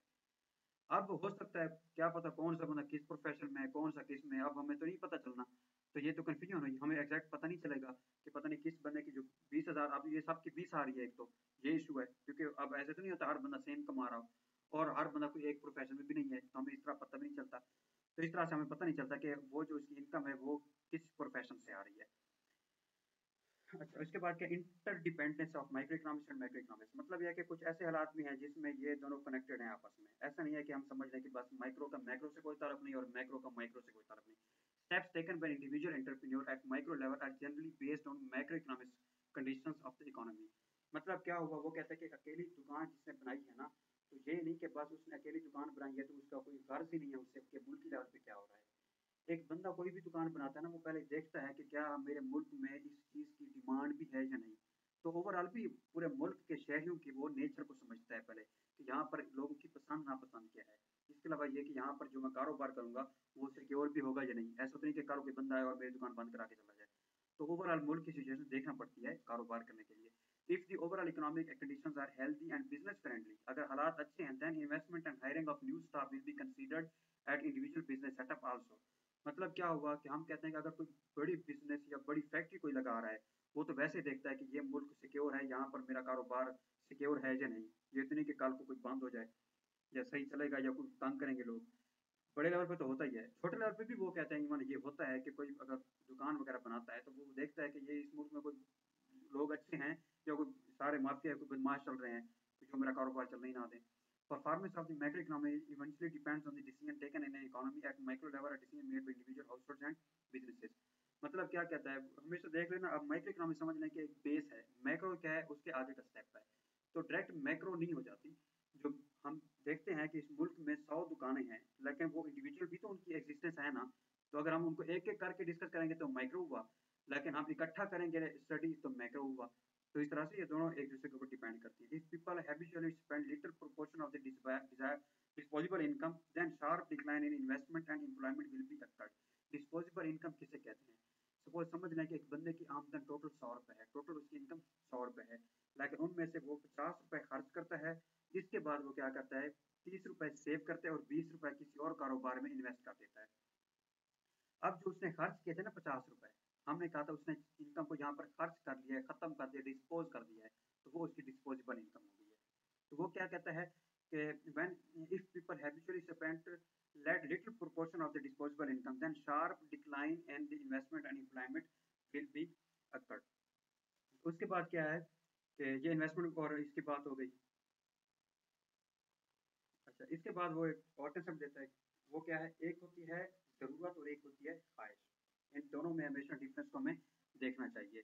एक क्या होती है? नीड कहते हैं ज़रूरत को और वांट्स किसे कहते हैं? ख्वाहिश को। ठीक हो गया? अब एक बंदा है जिसके पास खाने को कुछ नहीं है। तो मतलब क्या हुआ? ये उसकी एक बेसिक ज़रूरत है। एक बंदा है उसको पहनने के लिए कपड़े, रहने के लिए घर, खाने के लिए खाना।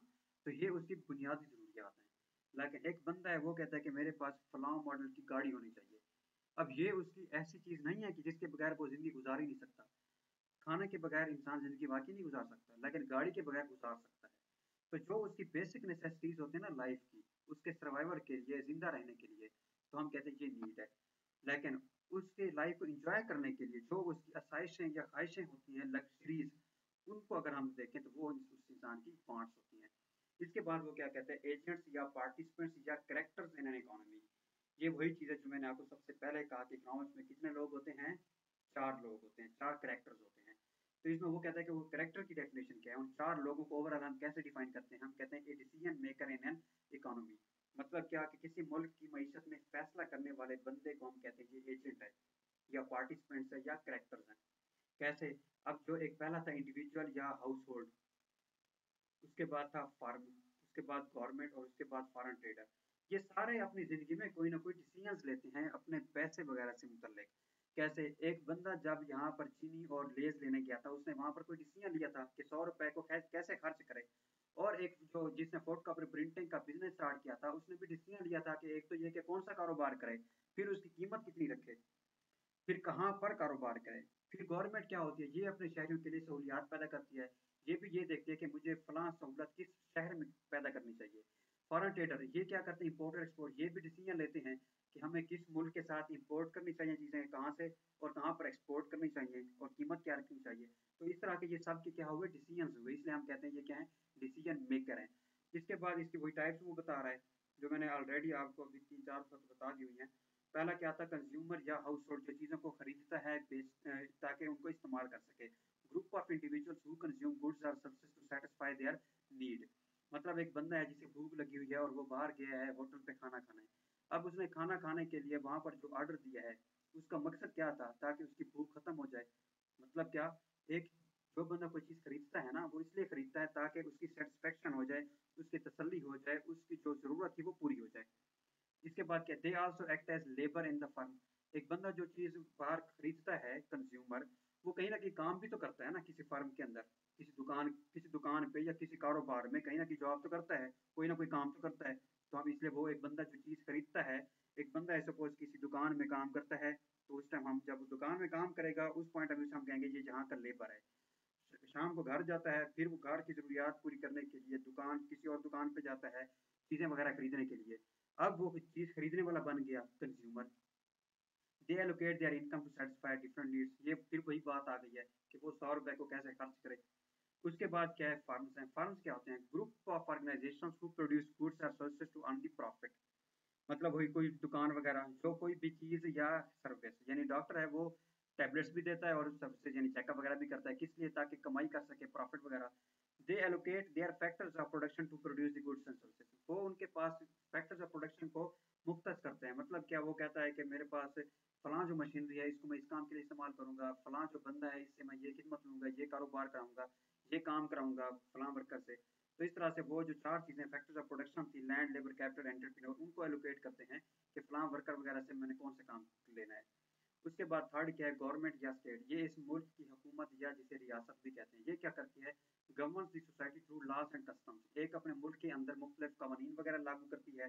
जिस तरह से समझ लें कि सिग्नल क्रॉस ऐसे नहीं करना हमने, जब तक वो ग्रीन ना हो। ये कानून बन गया ये हुकूमत कर रही है। इसके बाद क्या कहते हैं? It allocates is resources tax revenue और staff to satisfy the needs of its citizens ये क्या हुआ? कि मतलब क्या? कि हुकूमत जो है, वो क्या करती है? अब हुकूमत के पास जितना पैसा है ना, वो अपने शहरियों के लिए सहूलियात पैदा करती है। सपोज़ हुकूमत ने मोटर वे बनाई है, वो शहरियों की ज़रूरत थी, उनको एक रास्ता चाहिए था ताकि वो कम टाइम में साफ़ सुथरे रास्ते से जाकर अपने ज़्यादा ज़्यादा से ज़्यादा सफ़र तय कर सकें। तो इस तरह से उसने क्या किया गवर्नमेंट ने? सहूलत पैदा की अपने शहरियों के लिए। किस तरह से पैसा लगाकर, पैसा कहाँ से आया जो हुकूमत अपने शहरियों से टैक्स लेती है?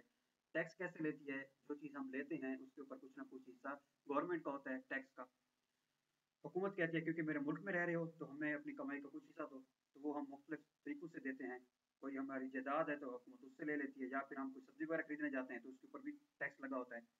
इसके बाद फॉरेन ट्रेडर्स हैं। ये क्या करते हैं? वही इंपोर्टर्स और exporters to exchange goods and services to satisfy their needs जो चीज़ बेचता है, पैसे कमाता है तो पैसे कमाना उसकी नीड है।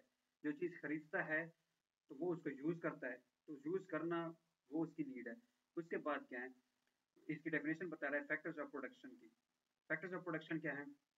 अब वो क्या थे? जो लैंड लेबर कैपिटल एंटरप्रेन्योर अब वो उनकी डिटेल बता रहा है कि इनपुट्स या resources which are used in production process कि कोई भी प्रोडक्ट जब कोई फर्म बनाती है तो उसमें जो चीज़ें इस्तेमाल होती हैं, हम क्या कहते हैं कि ये क्या है? फैक्टर्स ऑफ़ प्रोडक्शन है। कितने थे? लैंड लेबर कैपिटल और एंटरप्रेन्योर चार।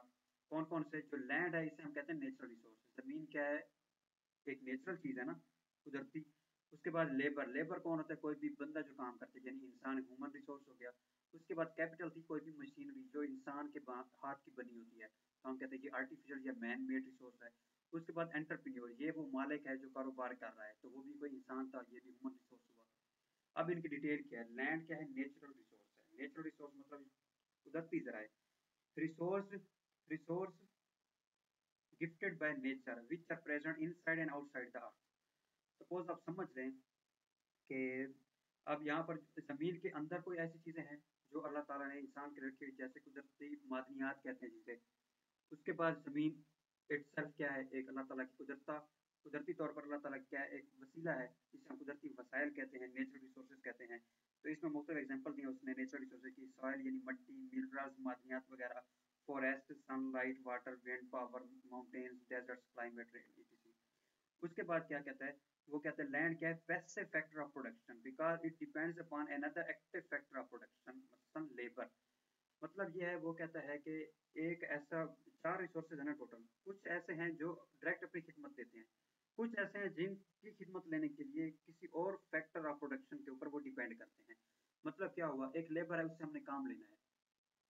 तो वो खुद काम करेगा। एक ज़मीन है, वो खुद तो काम नहीं कर सकती। उससे हमने काम लेने के लिए भी कोई ना कोई बंदा लगाना है।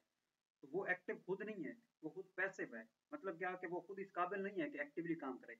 उससे काम लेने के लिए हमें कोई और बंदा लगाना पड़ता है। अब ज़मीन के ऊपर जो खेती बाड़ी का काम होता है, वो ज़मीन खुद तो नहीं करती। वहाँ पर हमें काम करने के लिए कोई बंदे लगाने पड़ते हैं। अच्छा अब जो दुकान उसने फ़ोटो कापी वाले ने ली थी, यानी लैंड उसका क्या रिवार्ड था? उसके बदले में उसने क्या करना था? उसने क्या करना था? Amount paid for use of land having fixed supply fix supply का मतलब क्या होता है कि सपोज़ समझ लें कि एक वर्कर है। अब वो किसी दिन ज़्यादा काम कर सकता है, किसी दिन कम काम कर सकता है। लेकिन जो हमने दुकान बनाई हुई है तो वो तो जैसी पहले दिन से वैसी ही रहनी है। अब ऐसा तो नहीं है कि किसी दिन हम उस दुकान से कोई फ़ायदा कम उठाएँ, किसी दिन ज़्यादा। वो तो हमारे ऊपर है ना।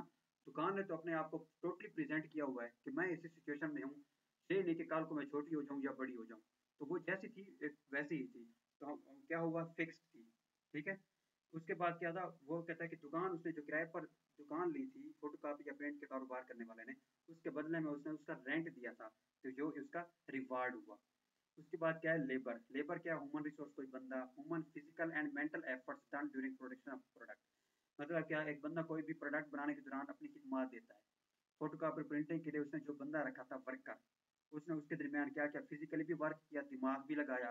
तो ये एक इंसान की तरफ़ से एफर्ट थी। तो हम कहते हैं ये ह्यूमन रिसोर्स है, या लेबर इसकी मिसाल उसने दी है रोड ब्रेकिंग की मीनिंग टीचिंग काउंसलिंग वगैरह। अब एक टीचर है जो टीचिंग कर रहा है। तो वो दिमाग भी इस्तेमाल कर रहा है, इसके अलावा जो बोर्ड पे या कोई लैपटॉप वगैरह पढ़ा रहा है तो साथ साथ लिख रहा है तो ये उसकी फ़िज़िकल भी एक वर्क है और मेंटल एफर्ट भी है। ये क्या है? Active factor of production because it makes other passive factor of production land usable ये क्या है? ये खुद एक्टिव है। ये अपनी मर्ज़ी से खुद काम करता है। इससे काम लेने के लिए ज़रूरी नहीं है कि हमें किसी और चीज़ की ज़रूरत हो। हाँ इससे फ़ायदा हम वैसे दूसरी चीज़ से उठा सकते हैं। एक ज़मीन है, वो खुद कोई काम नहीं कर सकती। उसके लिए हमने कोई बंदा लगाया। और ये क्या है? ये ना सिर्फ़ खुद काम करता है, बल्कि ये किसी और को भी इस काबिल बना देता है कि उससे फ़ायदा उठाएँ। कि इसने क्या किया है? एक दुकान वैसे तो पड़ी है, कुछ नहीं कर रही। तो उससे काम लेने के लिए हमने एक बंदा लगाया वर्कर। अब वो वर्कर क्या है? एक तो वैसे अपनी तरफ़ से काम कर रहा है, प्लस उसने उस दुकान को इस काबिल कर दिया कि आप उस दुकान से भी हम फ़ायदा उठा रहे हैं। तो अब जो बंदा काम करता है, उसका रिवार्ड क्या होता है? Amount paid for taking success of labour उस बंदे से हम जो खिदमात लेते हैं, उसके ऊपर हम उसको पे करते हैं, पैसे देते हैं। वेजेस जिसे हम कहते हैं मतलब कि उजरत या कोई सैलरी वगैरह।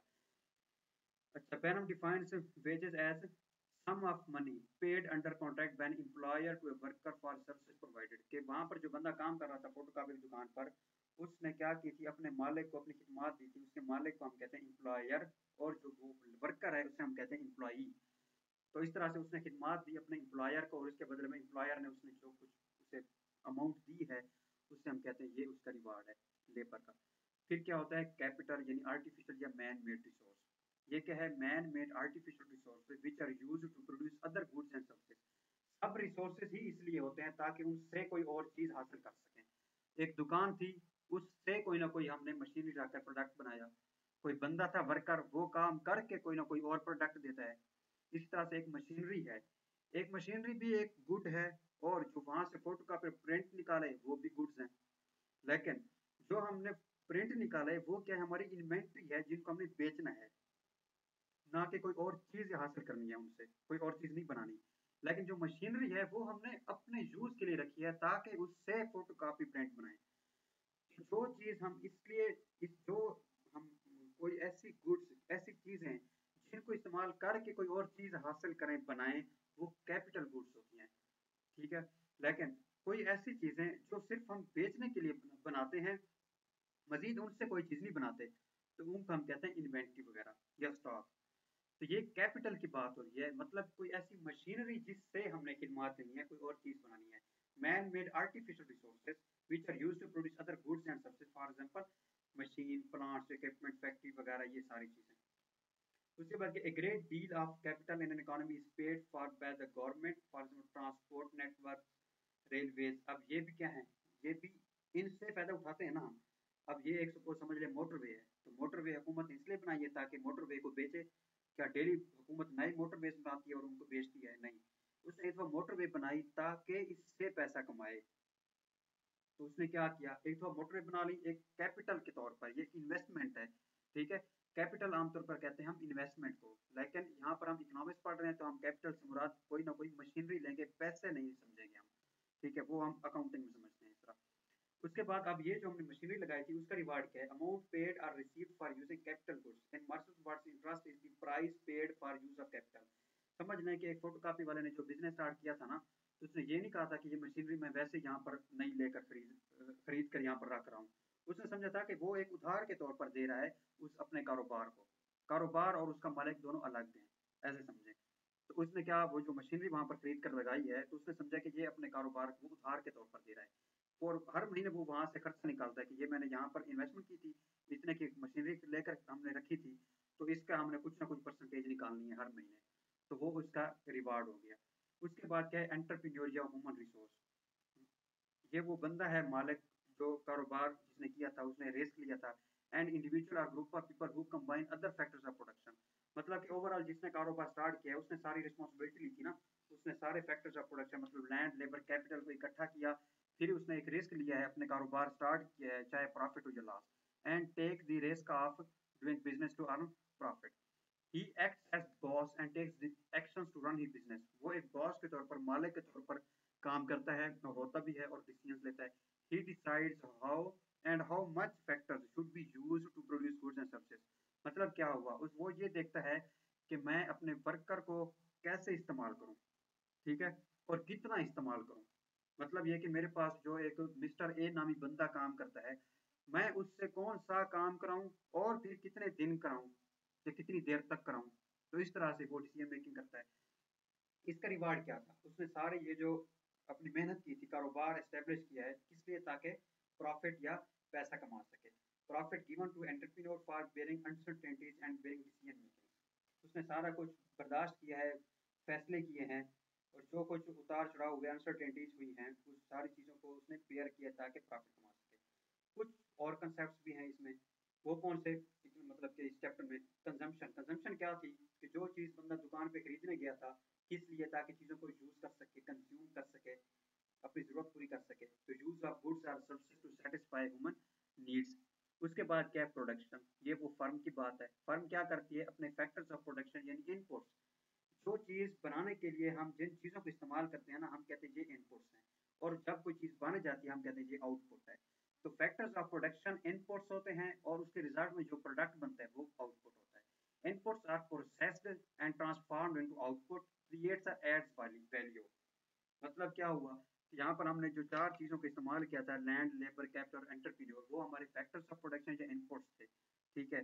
उनमें मुख्तलिफ़ हमने वहाँ हर हर एक करेक्टर से हमने डिफरेंट फ़ंक्शन लिए हैं और इस तरह से क्या हुआ? कोई ना कोई प्रोडक्ट बना है। वैल्यू आइड हुई है मतलब कि एक समझ लें कि वहाँ से कोई ना कोई हमने चीज़ निकाली है, कोई ना कोई प्रोडक्ट बनाया है। गुड्स क्या होती हैं? शुरू में मैंने कहा था जो डॉक्टर ने टैबलेट्स दी थी, products which satisfy human needs and wants and gives utility utility कहते हैं कोई भी चीज़ से, किसी भी चीज़ से हमें जो सेटिस्फेक्शन या तसल्ली होती है। ठीक है? अब एक डॉक्टर ने हमें टैबलेट्स दी, वो फिजिकली उनकी शक्ल थी, हमने उसको गुड का वरना अगर फ़िज़िकल शक्ल ना होती, जैसे चेकअप तो हम कहते हैं, ये सर्विस है। दोनों हमें क्या करते हैं सेटिस्फाई करते हैं। चेकअप ने हमें किस तरह सेटिस्फाई किया कि हमें पता चल गया कि हमें क्या बीमारी है? मेडिसिन ने हमें किस तरह सेटिस्फाई किया कि हमें आराम आ गया? तो यूटिलिटी होती है क्या? चीज़ों को हम खरीदते हैं किस लिए, ताकि हम वहाँ से सेटिस्फेक्शन या तसली हो, या हमारा जो प्रॉब्लम था, वो सॉल्व हो जाए। इसके बाद वो कहते हैं, अब ये चीज़ें भी मुख्तलिफ़ किस्म की होती हैं। Types of goods based on consumption मतलब क्या कि बहुत सी चीज़ें ऐसी हैं जिनको हम यूज़ करते हैं, उस इस्तेमाल के पॉइंट ऑफ़ व्यू से, चीज़ों को कंजम्पशन के पॉइंट ऑफ़ व्यू से हम डिवाइड कर देते हैं। वो कैसे? कि उनमें अब देखा जाए, कुछ हमारे पास होती हैं मेरिट गुड्स मेरिट गुड्स क्या होते हैं? Goods which create positive externalities externalities का समझ लें मतलब effects production and consumption of a good or services benefits a third person which is not directly involved in the market transaction and are considered good due to their desirable effect. मतलब क्या हुआ कि education health या park वगैरह। मतलब ऐसी चीज़ें जो एक अच्छा तासुर दें ठीक है? एक अच्छा उनका इम्पैक्ट पड़े। अब उसकी एग्जांपल वो क्या दे रहा है? अब एक, इसके एग्जांपल वो सपोज़ दे रहा है हेल्थ की। इसमें वो कहता है कि एक बंदा जो डायरेक्ट इन्वॉल्व ना हो, लाके उसे मुफ़्त में पैदा हो जाए। वो कैसे? कि गवर्नमेंट ने एक ज़मीन ली, उसके अंदर कोई पार्क वगैरह बनाया। अब जब गवर्नमेंट पार्क बना रही थी तो क्या उसने सारे शहरियों को इकट्ठा किया कि बताओ आप पार्क में बैठेंगे या नहीं? कोई नहीं, उसने पार्क बनाई अपनी तरफ़ से। दिमाग में यही था कि लोग यहाँ पर बैठेंगे। लेकिन ओवरऑल बंदू का वहाँ पर कोई इन्वॉल्वमेंट नहीं थी उसमें, जब वो काम हो रहा था। लेकिन जब पार्क बन गई तो हर शहरी वहाँ पर बैठने के लिए अलाव है, वहाँ पर बैठ सकता है। तो इस तरह से उस पार्क क्या है, एक पार्क कोई गंदी या बुरी चीज़ नहीं है। ठीक है, एक तो अच्छा तासर देती है, एक पॉजिटिव चीज़ है। दूसरा जो उसको यूज़ कर रहा है, वो डायरेक्टली इन्वॉल्व नहीं था पार्क के बनने के दौरान लेकिन वो इससे फ़ायदा उठा रहा है। उसके बाद demerit goods goods which create negative externalities production and consumption of a good or service cost a third party which is not directly involved in the market transaction and are considered bad due to their harmful effect मसलन smoking ये ऐसी चीज़ें हैं जिनका अच्छा तासर नहीं होता। ये बुरा इम्पैक्ट डालती हैं। और इसमें भी उस बंदे के ऊपर भी इसका असर पड़ता है जो इसमें इन्वॉल्व नहीं होता। मतलब क्या? कि एक दुकानदार है, उसने सिगरेट बेची है, एक बंदा है, उसने सिगरेट ली है। अब वो बंदा बाहर दुकान के खड़े होकर सिगरेट लगाई है उसने। अब साथ जो लोग आ जा रहे हैं, वो भी सिगरेट के उस धुएँ से परेशान हो रहे हैं। हालाँकि उनका कसूर कोई नहीं है, ना तो सिगरेट उन्होंने ली, ना बेची। लेकिन इसका इम्पैक्ट उनके ऊपर पड़ रहा है तो ये डीमेरिट गुड्स हो। गई उसके बाद क्या हुई? पब्लिक गुड्स पब्लिक गुड्स क्या होती हैं पब्लिक का मतलब हमेशा समझा जाता है अवाम goods which are readily available to public मतलब अवाम को। Non rival or no competition and no one can be prevented from enjoying these goods non excludable non no removal मतलब क्या वो कहता है, एक तो ऐसी चीज़ें हैं जो हर बंदे के पास ऑटोमेटिकली हैं। कोई बंदा उनको अवॉइड नहीं कर सकता। और ऐसा भी नहीं है कि एक बंदे के पास और किसी और के पास नहीं हो। उनको कंपटीशन नहीं है। हर बंदे के पास है। और दूसरा ये एक्सक्लूडिबल भी नहीं है। नॉन एक्सक्लूडिबल है। मतलब किसी बंदे की लाइफ से हम वो चीज़ें निकाल नहीं सकते। तो इसके एग्ज़ाम्पल क्या कहते हैं? वो कहता है कि brands of no brands of national defence system मतलब क्या हुआ? कि हमारे मुल्क का जो डिफेंस सिस्टम है, हमारे जो सिक्योरिटी इदारे हैं, अब ऐसा नहीं है कि हमारे मुल्क में कोई पाँच छः सिक्योरिटी इदारे मुख्तलिफ़ हैं, मुख्तलिफ़ ब्रांड्स के। तो हम कोई एक ब्रांड को इंजॉय करते हैं, किसी और को नहीं करते। ऐसा नहीं है। ओवरऑल सिक्योरिटी का सिस्टम एक ही है हमारे मुल्क में। मतलब ये कि सिक्योरिटी इदारे जितने भी हैं, उनको एक ही कंसिडर किया जाता है और सारे शहरियों के लिए एक जैसे हैं। ऐसा नहीं है कि किसी के लिए कोई एक टाइप की पुलिस हो, किसी और के लिए कोई और हो। तो वो कहता है कि किसी मुल्क का, अब यहाँ पर एग्ज़ाम्पल उसने नेशनल डिफेंस की दी है पहले। मतलब ये कि हमारे मुल्क का जो सिक्योरिटी इदारे हैं, वो उस मुल्क के हर शहरी के लिए एक जैसे हैं। और कोई शहरी ये नहीं कह सकता कि नहीं यार, मैं इस सिक्योरिटी इदारे से कोई तलब नहीं रखना चाहता, ये मुझे डिफेंस प्रोवाइड ना करे। तो ऐसा नहीं होना। तो मतलब क्या एक तो वो सिंगल डिफेंस सिस्टम है, कोई कंपटीशन नहीं है, उसके मुकाबले में कोई और डिफेंस सिस्टम नहीं है, उस मुल्क का। प्लस ये कि ये हर शहरी के लिए कोई इसको अवॉइड नहीं कर सकता कि नहीं, मैंने इसको यूज़ नहीं करना। ये हर किसी के लिए। उसके बाद वो क्या कहता है? प्राइवेट गुड्स प्राइवेट क्या कहते हैं? ये आमतौर पर इसमें कोई, समझ लें कि ज़ाती या पर्सनल चीज़ें देखी जाती हैं। Goods which are separately available to different person मतलब वो पब्लिक था क्या हर शहरी के लिए था, ये हर शहरी के लिए नहीं है, जो इसको यूज़ करना चाहेगा ये उसके लिए ये क्या है राइवल और कंपटीशन मतलब ये कि इसमें जो चीज़ें होंगी ना तो उनका मुतबादल होगा। डिफेंस सिस्टम का कोई मुतबादल या सब्सिट्यूट नहीं था, वो अकेला डिफेंस सिस्टम था। लेकिन ये ऐसी चीज़ें होती हैं जिनमें मुतबादल के तौर पर और भी होती हैं। इसमें क्या with no cost to be taken by the other excludable and removal इसमें अगर कोई बंदा इसको अवॉइड करना चाहता है इन चीज़ों को तो कर सकता है। कैसे? कि सपोज़ एक ब्रेड है, वो मुख्तलिफ़ ब्रांड्स की है तो अब ब्रेड एक नहीं, ज़रूरी नहीं कि ब्रेड का एक ही ब्रांड है पाकिस्तान में, मुख्तलिफ़ ब्रांड्स की हैं।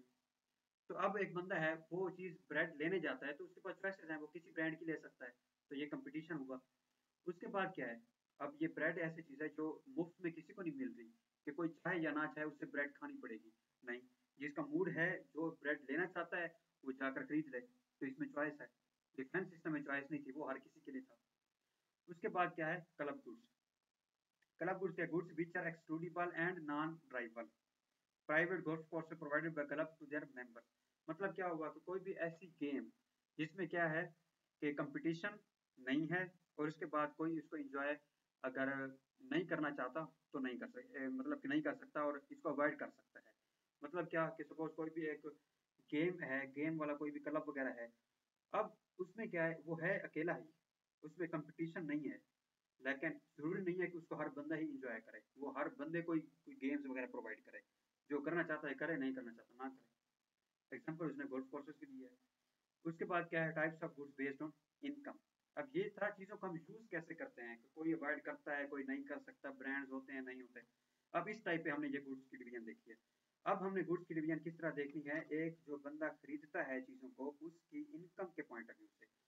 अब पहले हमने देख देखनी है कि अब नॉर्मल गुड्स क्या होती हैं? Goods whose demand increases with increase in income of consumers demand का मतलब क्या है?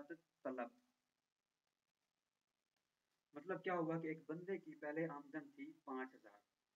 तो समझ लें कि वो, ऐसे समझ लें कि अपने घर के इस्तेमाल के लिए पाँच किलो चीनी लेता था। अब उसकी इनकम हो गई है दस हज़ार। तो पहले वो गुजारा करता था। अब पहले पाँच किलो लेता था। हो सकता है अब घर में सात किलो चीनी ले आए, ताकि मेरे घर के जो बंदे हैं वो अच्छे तरीके से यूज़ कर सकें, कोई कंजूसी ना करें। तो उसकी इनकम बढ़ी तो उसने चीज़ों को ज़्यादा इस्तेमाल करना शुरू कर दिया तो मतलब क्या हुआ इनकम के बढ़ने से चीज़ों की डिमांड बढ़ी है।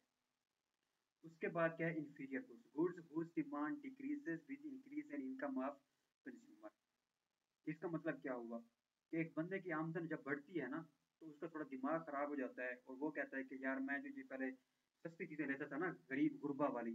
तो अब मैं ये नहीं लूँगा। तो अब मेरे पास पैसा ज़्यादा है तो ये छोटी मोटी चीज़ें जो मैं यूज़ करता हूँ ना, मैं इनके भी लूँगा। मैंने एग्ज़ाम्पल आपको दिया है थोड़ी रिलेटेड वो कैसे? कि बंदे की इनकम बढ़ती है ना तो वो पहले उसके पास सपोज़ समझ लें कि एक बाइक थी, लेकिन एक नॉर्मल सी, ठीक है, गुजारा कर रही थी बस। उसकी इनकम बढ़ी तो उसने अच्छी वाली बाइक ले ली। लेकिन अब समझ लें कि उस बंदे की एक दूसरा कैसे इंफीरियर गुड्स था अब उसके पास साइकिल था। अब उसकी इनकम बढ़ी तो उसने कहा कि ये साइकिल कोई गरीबों की निशानी है, अब मेरी इनकम ज़्यादा है तो मैं साइकिल नहीं लेता। तो साइकिल की डिमांड तलब कम हुई है। तो ये क्या हुआ? इनकम के बढ़ने से चीज़ की कमी, चीज़ की डिमांड कम हुई। पहले केस में इनकम बढ़ी तो उसने बुरी से अच्छी बाइक ली डिमांड बढ़ी बाइक की। लेकिन एक ऐसा केस है जिसमें इनकम बढ़ी तो उसके पास जो एक इन्फीरियर टाइप की एक मामूली सी चीज़ थी साइकिल वगैरह, उसने उसको छोड़ दिया कि नहीं, अब मैं बड़ा बंदा हूँ, मैं साइकिल यूज़ नहीं, मैं बाइक यूज़ करूँगा। तो उसने साइकिल की डिमांड छोड़ दी। साइकिल लेना छोड़ दी। तो ये इनकम के बढ़ने से डिमांड कम हुई। तो हम कहते हैं ये वो चीज़ें जिनकी इनकम के बढ़ने से डिमांड बढ़े। नॉर्मल नॉर्मल गुड्स जिनकी इनकम के बढ़ने से डिमांड कम हो तो इंफीरियर गुड्स उसके बाद क्या है? Superior goods goods whose demand increases more than increase in income of consumer मसलन कार मतलब क्या हुआ कि एक बंदे की पहले सैलरी थी एक लाख। तो उसके पास क्या थी? बाइक थी। उसके बाद उसकी सैलरी हुई डेढ़ लाख है। लेकिन उसकी डिमांड चेक करें, उसने डायरेक्ट कार लेना स्टार्ट कर दी।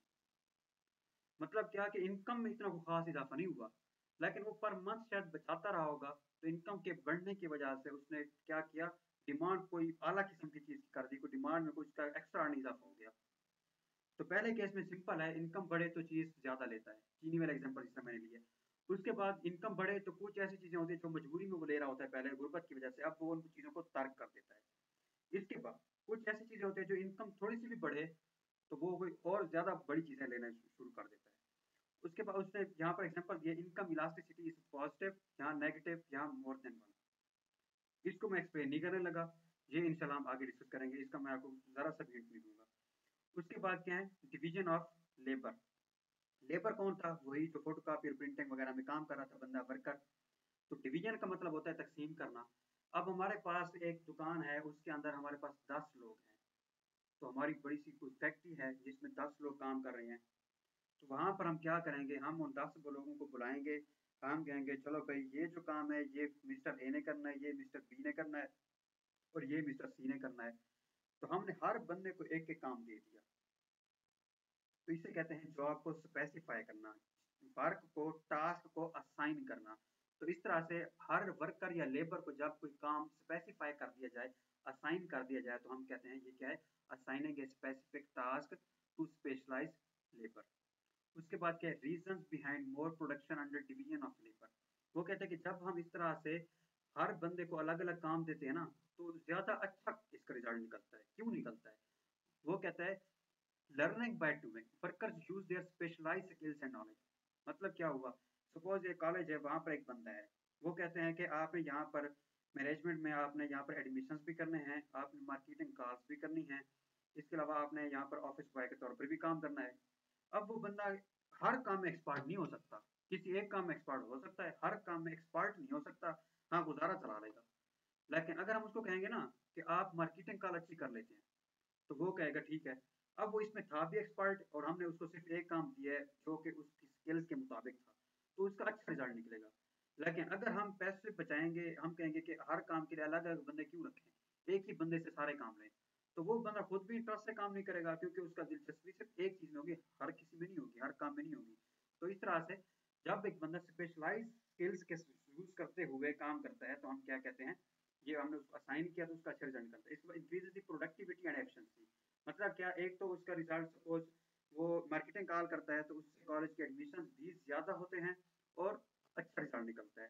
लेस ट्रेनिंग इज़ रिक्वायर्ड एक बंदा जो खुद एक्सपर्ट है एक काम में तो हमें मजीद सिखाने की ज़रूरत नहीं पड़ती। डिक्रीजेज दी एवरेज कास्ट मतलब क्या, कि अगर हम दस बंदे लगा दें, और हम एक बंदा लगाया, हमने क्या कि इसे तीन चार काम लेने हैं, और उसका फ़ायदा जरा भी नहीं हुआ, कोई एक एडमिशन भी नहीं हुआ। लेकिन अगर हम दो लगाएँगे ना, हर से अलग अलग काम लेंगे तो हो सकता है अच्छा रिज़ल्ट है, ज़्यादा एडमिशन हो तो हमें यहाँ पर जो खर्चा आएगा दोनों की सैलरी देने में तो उसको कोई इशू नहीं बनेगा। उसके बाद क्या है? Saving of time decreases the time required for production as it cuts off the time taken from switching from one production task to another. मतलब क्या हुआ? एक बंदा मार्केटिंग का काम वहाँ पर बैठ कर कर रहा है। तो वो एक ही काम कर रहा है ना? तो वो टाइम उसका वेस्ट नहीं होगा। हम एक काम कर रहा है, उधर से फिर कोई एडमिशन के लिए आ गया है तो फिर वो उसके साथ काम करने लग जाता है। फिर दोबारा उसने मार्केटिंग कॉल की तरफ़ आना है फिर कोई और एडमिशन आ गया। तो इस तरह से ये टाइम का ज़िया होता है। Performing same task increases their efficiency एक ही काम करते करते इंसान ज़्यादा एफिशिएंट और एक्सपर्ट हो जाता है और ज़्यादा स्पेशलाइज हो जाता है। उसके बाद क्या promotes the invention and creates an environment where innovation is enhance एक अकेला बंदा जब कोई काम करता है ना जिसमें वो एक्सपर्ट हो तो वो उसमें सोच विचार भी करता है और नए आइडियाज़ भी उसके दिमाग में आते हैं। जब, क्योंकि वो दिलचस्पी से काम कर रहा होता है, क्योंकि वो इसमें एक्सपर्ट होता है। स्पेशलाइजेशन ऑफ़ वर्क क्या हुआ? Division of work process into different task वहाँ पर हमने कहा कि मिस्टर ए फलां काम करे, मिस्टर बी फलां काम करे। जहाँ पर हमने कहा कि फलां काम फलां करे बंदा तो ये वाला काम है, ये फलां बंदा करे। वहाँ हमने बंदे की शक्लें देखकर हमने कहा था कि फलां बंदा ये काम करे। यहाँ पर हम जो काम सामने पड़े हुए हैं, जो काम करने हैं, वहाँ पर सपोज़ समझ लें कि हमारे पास तीन बंदे थे तो हमने मिस्टर ए को क्या कहा कि मिस्टर ए, तुमने कोऑर्डिनेशन का काम करना है। मिस्टर बी, तुमने एडमिशन का काम करना है। मिस्टर सी, तुमने मार्केटिंग का काम करना है। तो पहले हमने यहाँ पर ज़ोर किसके ऊपर दिया? लेबर के ऊपर वर्कर के ऊपर। फिर हमने यहाँ पर क्या है? स्पेशलाइजेशन ऑफ़ वर्क क्या है? हमने कहना है कि कोऑर्डिनेशन का जो काम है ना वो मिस्टर ए करेगा। वहाँ पर एडमिशन का जो काम है वो मिस्टर बी करेगा। और यहाँ पर जो मार्केटिंग का काम है वो मिस्टर सी करेगा। तो इसमें हम टास्क के पॉइंट ऑफ़ व्यू से देख रहे हैं। Doing the work in way you are specialise instead of doing any work in media कर मतलब क्या हुआ कि एक, एक काम जिसमें आप एक्सपर्ट हैं उसी को अच्छे अंदाज में करें। बजाय इसके कि आप ज़्यादा काम करें लेकिन एक नॉर्मल वे में, कोई खास अच्छी दिलचस्पी से ना करें। Jack of all trade is master of none जो दस काम करता है ना, वो एक्सपर्ट एक में भी नहीं होता। Specialisation in regional and international contact अच्छा ये क्या different countries have comparative advantages in production of different crops due to suitability of land, rain, water, and required temperature? Pakistan has advantage over other countries in the region in production of cotton due to fertile soil. एक मुल्क होता है जिसमें machinery वगैरह अच्छी होती है बड़ी बड़ी इंडस्ट्रीज़ फैक्ट्रीज होती हैं। उसकी ज़मीन जो होती है ना, वहाँ से वो कोई खेती बाड़ी का काम नहीं कर सकते। लेकिन कुछ मुल्कों की ज़मीन ऐसी है कि वो खेती बाड़ी के काम एग्रीकल्चर वगैरह करके अच्छा खासा फ़सलें उगा के पैसा कमा लेते हैं। लेकिन वहाँ पर कोई टेक्नोलॉजी इतना नहीं होती, वहाँ पर कोई इंडस्ट्री बड़ी फैक्ट्री वगैरह नहीं होती। तो ये ज़मीन के ऊपर डिपेंड करता है। कुछ मतलब क्या हुआ? इंडस्ट्रियल कंट्रीज़ हैं और कुछ एग्रीकल्चर कंट्रीज़ हैं। पाकिस्तान कैसा ये एग्रीकल्चर है। यहाँ पर कोई टेक्नोलॉजी या बड़ी इंडस्ट्रीज़ फैक्ट्रीज नहीं है। यहाँ पर ज़्यादातर खेती बाड़ी के थ्रू लोग काम करते हैं और एग्रीकल्चर मुल्क है। यहाँ पर फ़सलें उगाकर पैसा कमाया जाता है। तो वो वही बात कर रहा है। Pakistan should get its specialise in production of cotton rather than utilizing its economic resources in multiple crops. तो जिसमें एक्सपर्ट है, वही करना चाहिए। अच्छा इसके बाद क्या है? कैपिटल फॉर्मेशन कैपिटल क्या था? वो चीज़ें जिनको इस्तेमाल करके हम और चीज़ें बनाते हैं। जैसा कि फ़ोटो कापी और प्रिंटिंग वाली मशीन है, क्योंकि उनसे हम फ़ोटो कापी प्रिंट निकालते हैं। कैपिटल फॉर्मेशन अब उस मशीनरी में इजाफे को हम क्या कहते हैं? Capital formation use of current resources to create capital goods such as tools instruments हमारे पास, समझ लें, दस लाख है तो हमने वहाँ से दस लाख खर्च कर रहे हैं, हमने मशीनरी ली है। Capital accumulation for a particular country accumulation का मतलब यही होता है फॉर्मेशन किस चीज़ में इजाफा होना। Increase in stock quantity of capital in that country over a long period of time. कि जो रिसोर्सेज है ना, जो मशीनरी है मशीनरी में इजाफे को हम कैपिटल फॉर्मेशन कह रहे हैं। मशीनरी के स्टॉक को।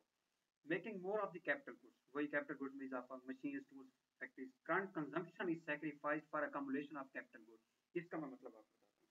कि सपोज़ आप समझ रहे हैं, एक बंदा है, उसने क्या करना है? उसने उसकी सैलरी है सपोज़ समझ लें तीस हज़ार। अब वो तीस हज़ार हर महीने खर्च भी तो कर सकता है, ताकि वो अपनी लाइफ अच्छी गुजारे। लेकिन वो कहता है कि नहीं, इस तीस हज़ार में से मैं मंथली दस हज़ार बचाऊँगा, ताकि इन पैसे को बचाते बचाते मैं आगे कोई कारोबार खरीदने, कारोबार करने के लिए कोई मशीनरी खरीद सकूँ। क्या कर रहा है? इस टाइम वो सेक्रीफाइस कर रहा है। जो वो कंज्यूम कर सकता था पैसे, उस कंजम्पशन को वो सेक्रीफाइस कर रहा है। करंट कंजम्पशन जो इस टाइम कंजम्पशन हो सकते थे पैसे कंज्यूम उसको सेक्रीफाइस कर रहा है। किस लिए? ताकि वो पैसे इकट्ठे होते जाएँ और कल को वो अपना कारोबार करने के लिए मशीनरी यानी कैपिटल गुड्स खरीद सके। Consumption is inversely proportional to capital formation मतलब क्या? अगर वो अब खर्चा बढ़ाएगा तो फिर मशीनरी नहीं खरीदेगा। तो खर्चा बढ़ेगा अब का तो आगे कैपिटल तो फॉर्मेट नहीं हो तो उसकी फॉर्मेशन नहीं हो पाएगी। तो इस तरह से ये दोनों इनवर्सली प्रोपोर्शनल हुए। Less the present consumption more there will be resources for new capital formation मतलब वही, अगर आज वो खर्च अपने कम करेगा तो कल इस काबिल होगा कि अपनी नई मशीनरी खरीद सकेगा। उसके बाद हमने क्या देखना है? उसके बाद है क्रिएशन ऑफ़ सेविंग्स ठीक है? क्रिएशन ऑफ़ सेविंग्स क्या है? Savings done by the individual और हाउस होल्ड एक बंदा है जिसकी सैलरी है पाँच हज़ार। उनमें से वो दो हज़ार महीने का खर्च करता है, तीन हज़ार वो सेव कर लेता ताकि कल को काम आ सके। तो इसे हम कहते हैं savings they save money by not spending all of their income on purchase of goods मतलब वही कि अपने वो डेली रूटीन की जो चीज़ें खरीदता है, उनके ऊपर वो खर्च नहीं करता ताकि पैसों को सेव कर सके। Level of savings in a country depends on the power and will to save मतलब क्या कि एक बंदा है ना, अगर उसके सैलरी सपोज़ समझ लें कि कोई पाँच लाख है तो ज़रूरी नहीं है कि वो सेविंग कर सकता है। हाँ उसमें ख्वाहिश होगी तो सेव कर सकेगा। जिसके ख्वाहिश होती है ना सेविंग की, वो अपनी थोड़ी सी छोटी सी सैलरी में भी सेव कर लेता है कुछ ना कुछ पैसे। तो वो वही कहता है कि सेविंग करने के लिए ज़रूरी है कि उस बंदे में कोई हिम्मत पावर और ख्वाहिश, यानी वेल भी है जो नहीं सेव करने की। Saving capacity depends on the average level of income and the distribution of national income ये वही करता है कि जिसकी ज़्यादा तनख्वाह है और उसमें बिल भी है तो वो ज़्यादा पैसे सेव करेगा। जिसमें कम तनख्वाह है, बिल है वो कम पैसे सेव करेगा। लेकिन जिसकी ज़्यादा तनख्वाह है, बिल कुछ भी नहीं है, कोई भी ख्वाहिश नहीं है सेविंग करने की तो वो कुछ नहीं सेव करेगा। अच्छा उसके बाद क्या है? When the average level of income is high, then people move move to save more. जब इनकम बढ़ती है तो वो ज़्यादा कोशिश करते हैं सेव करने की। इसके बाद पैसे पहले उन्होंने बचाए। इसके बाद क्या करेंगे? मोबिलाइजेशन ऑफ़ अब थोड़ा उन पैसों को हरकत मिलाएँगे transfer of savings from the individual और हाउस होल्ड टू बिजनेसेस यहाँ पर बिजनेसेस के एग्जांपल आप समझ रहे हैं बैंक ठीक है? मतलब क्या हुआ? कि हमने जो अपने घर में पैसे सेव किए थे ना, अब हम कहते हैं कि अब पहले तो चलो दो चार हज़ार की बात थी अब हमारे पास कोई एक लाख घर में सेव हो गया तो घर में कोई अच्छी बात नहीं है, यहाँ पर कोई चोरी डकैती भी हो सकती तो वो अपनी सेविंग घर से उठाकर उनको हरकत में लाते हैं, बैंक में लेकर जाकर जमा कर देते हैं।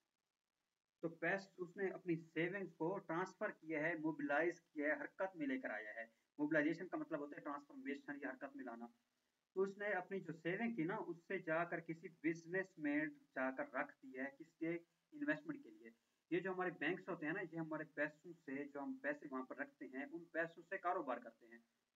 ठीक है? ये नहीं कि वहाँ बैंक के अकाउंट में पड़े रहते हैं और फिर हमें दोबारा हम निकलवा लेते हैं। नहीं, हम जैसे पैसे बैंक में जमा कराते हैं तो बैंक आगे अपने मुख्त कारोबार में इन्वेस्ट कर लेता है। तो इस तरह से वो कह रहा है कि एक बंदा जो घर में सेविंग करता रहता है ना, फिर जाकर बैंक में जमा कराता है। यानी कोई भी बिज़नेस में, यहाँ पर समझ ले बैंक में। फॉर इन्वेस्टमेंट कि बैंक वहाँ फिर उन पैसों से इन्वेस्टमेंट करता है। Funds are given by the individual investors कोई अकेले बंदे and banks and financial organisation insurance companies and government वगैरह। ये उन सब की बात कर रहा है, जो जो बैंक में जाकर पैसे रखवाते हैं। अच्छा a well developed capital market development of capital market is necessary for the increase rate of capital formation मतलब क्या हुआ कि अगर हमने मशीनरी को बढ़ाना है तो उन मार्केट्स में भी इजाफा होना चाहिए, उन मार्केट्स को डेवलप करना चाहिए मतलब इंडस्ट्री को क्रिएट करना चाहिए, जो कैपिटल को प्रोड्यूस कर सके। A well-developed capital market is likely to ensure proper mobilization and transfer of savings to the entrepreneur who need them. वही बात है। कि हम सेविंग को उन्हीं काम के लिए, उसी के लिए वहीं पर ट्रांसफ़र कर सकते हैं जो इस काबिल और उनको अच्छे मकसद के लिए सेव इन्वेस्ट कर सके ताकि पैसा कमाए। इन्वेस्टमेंट ऑफ़ सेविंग मतलब क्या एक बंदे की सैलरी आई, कुछ खर्च किया, कुछ सेव किया। फिर सेविंग जाकर बैंक में जमा कराई ताकि बैंक उसको इन्वेस्ट करे। अब वो थी जमा कराई, ताकि वो एक मकसद था कि इन्वेस्ट करे। अब यहाँ पर इन्वेस्ट कर रहा है bank savings are invested to get capital formation ताकि वो इजाफा हो।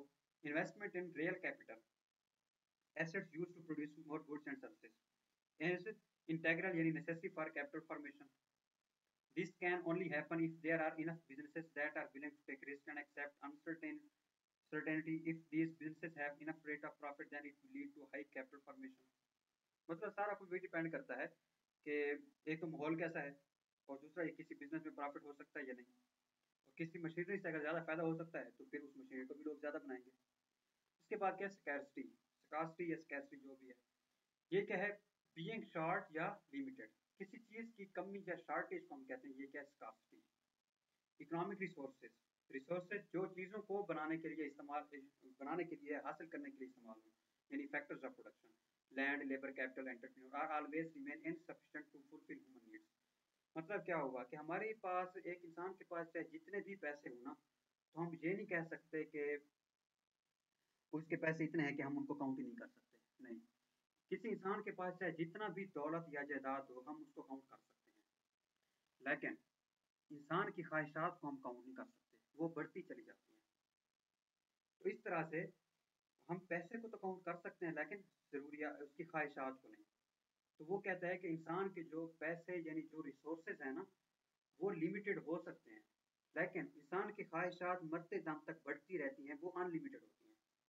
तो स्कार्सिटी का मतलब यही है कि हमारे पास पैसे कम हैं और ख्वाहिशात ज़्यादा हैं। Available resources are not enough to completely satisfy all the wants of individuals and government that creates the scarcity. कि हमारे पास जितने पैसे हैं ना, वो इस काबिल नहीं है कि हमारी सारी ख्वाहिशात पूरी कर इसके बाद क्या है? अपॉर्चुनिटी कॉस्ट इसका मतलब क्या है? इसका मतलब यह है कि हमारे पास सौ रुपए थे और हमने वहाँ से चीनी खरीदनी थी दुकान से। अब वहाँ पर हम चीनी खरीदने गए, लेकिन अगर हम चाहते तो हम वहाँ पर चावल भी खरीद सकते थे। लेकिन हमने प्रेफर क्या किया? हमने कहा कि नहीं, हम इन सौ रुपये से चीनी खरीदेंगे। तो हमने रिसोर्सेज को जिस काम के लिए इस्तेमाल किया है, उसकी जगह जो और चीज़ भी ले सकते थे, जो नहीं ली, वो अपॉर्चुनिटी कॉस्ट है। अब इसकी डेफिनेशन क्या है? कि want that is forgone जो जा चुकी है, is called opportunity cost of that want but we got मतलब क्या हुआ कि ऐसी ख्वाहिश जिसको हमने छोड़ा, जिसकी जगह पर कुछ और लिया, ठीक है? वो उसकी अपॉर्चुनिटी कॉस्ट है। मतलब ये कि अपने पैसे लगाकर जो चीज़ हमने हासिल की है, इसकी अपॉर्चुनिटी कॉस्ट क्या है जिसको हमने छोड़ा है? It is based on the principle of the next best alternative मतलब क्या कि हमने चीनी खरीदी है, लेकिन इसकी जगह पर हम चावल भी खरीद सकते थे, हम बिस्किट्स भी खरीद सकते थे, हम लेस भी खरीद सकते लेकिन चीनी तो खरीद ली, जो छोड़े हैं, उनमें बेस्ट कौन सा था? ज़्यादा अच्छा हमें फ़ायदा कौन दे सकता था? तो हमने जो चीज़ खरीदी है, उसके बदले में हो सकता है, ज़रूरी नहीं कि हमने एक चीज़ छोड़ी हो, कई छोड़ी होंगी। लेकिन जो हमें सबसे बेस्ट होगी ना अपॉर्चुनिटी कास्ट उसको कहेंगे। इसमें एग्जांपल क्या देता है? Suppose we have ten pieces of work to do हमारे पास दस मुख्तलिफ़ काम है जो हम कर सकते हैं। हमने क्या किया? वी पिक्ड फ़र्स्ट हमने पहला पहला काम किया है। वी लेफ़्ट रिमेनिंग नाइन हमने नौ काम बाकी छोड़ दिए कि हमने ये नहीं करना among nine six was best of them कि जो नौ हमने काम छोड़े हैं ना, उनमें से छह ऐसा था सिक्स छठा, जो सबसे बेस्ट था, करने के काबिल था। एंड मोर वर्थफुल जिसकी वैल्यू ज़्यादा थी so six is opportunity cost of first जो काम हमने किया है, उसके बदले में अपॉर्चुनिटी कास्ट वो है, जो बतिया में से सबसे बेस्ट थी अगर करते इसके बाद क्या है? कॉस्ट पेड ये खुद से मैंने डेफिनेशन बनाई है जस्ट कंसेप्ट देने के लिए। Cost paid benefit lost among many by not availing the opportunity due to availing an other opportunity. मतलब क्या? कि हमने एक चीज़ को इस्तेमाल किया है, लेकिन उस चीज़ को हासिल करने के लिए हमने किसी चीज़ को छोड़ा है। तो हमने जिसको छोड़ा है, उससे फ़ायदा नहीं उठा सके ना। मतलब ये हमें एक किस्म का, हमारे लिए कॉस्ट बन गई है। हमने एक किस्म का एक नुकसान उठाया है। कि हमने एक चीज़ को हासिल करते करते दूसरी चीज़ को छोड़ दी। तो एक चीज़ से तो फ़ायदा उठा लिया, दूसरी से फ़ायदा जो उठा सकते थे वो छोड़ दिया। तो वही बेनिफिट हमने छोड़ दिया लॉस कर दिया लॉस्ट तो कॉस्ट पेड या बेनिफिट लॉस्ट अमंग मैनी बहुत सी चीज़ें थी जिनको छोड़ा।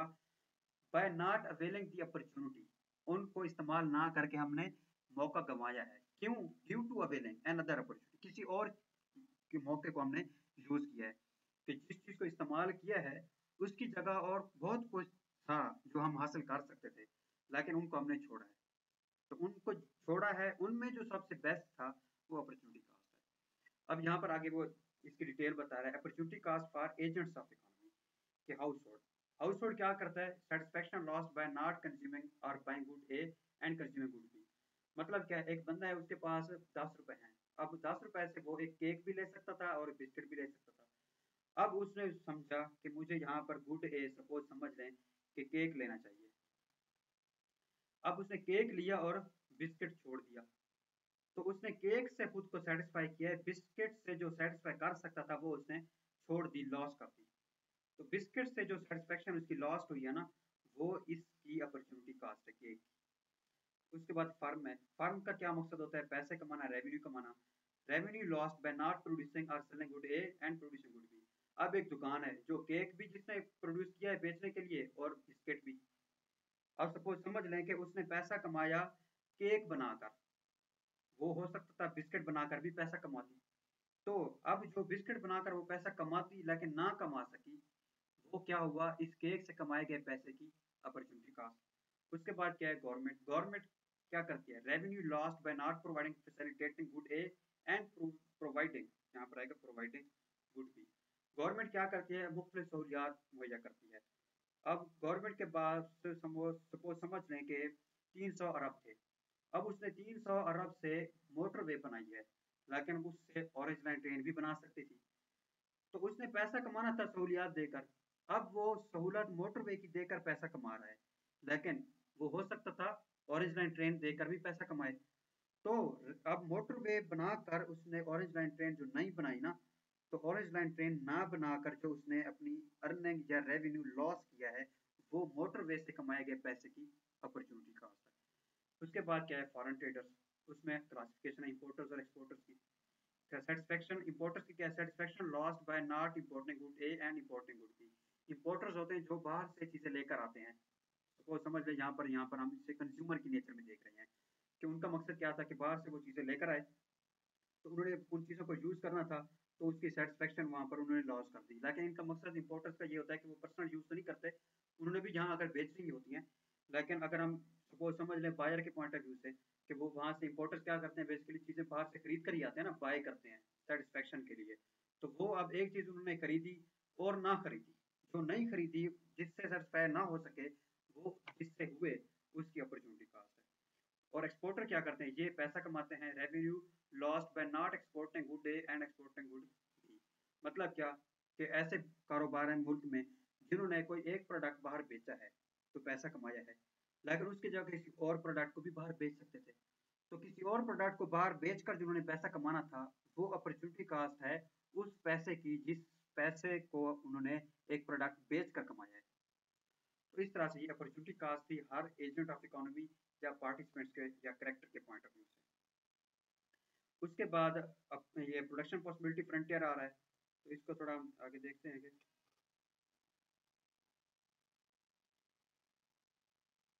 मेरे ख्याल में इसको आज हमें यहीं पर एंड कर देना चाहिए, ताकि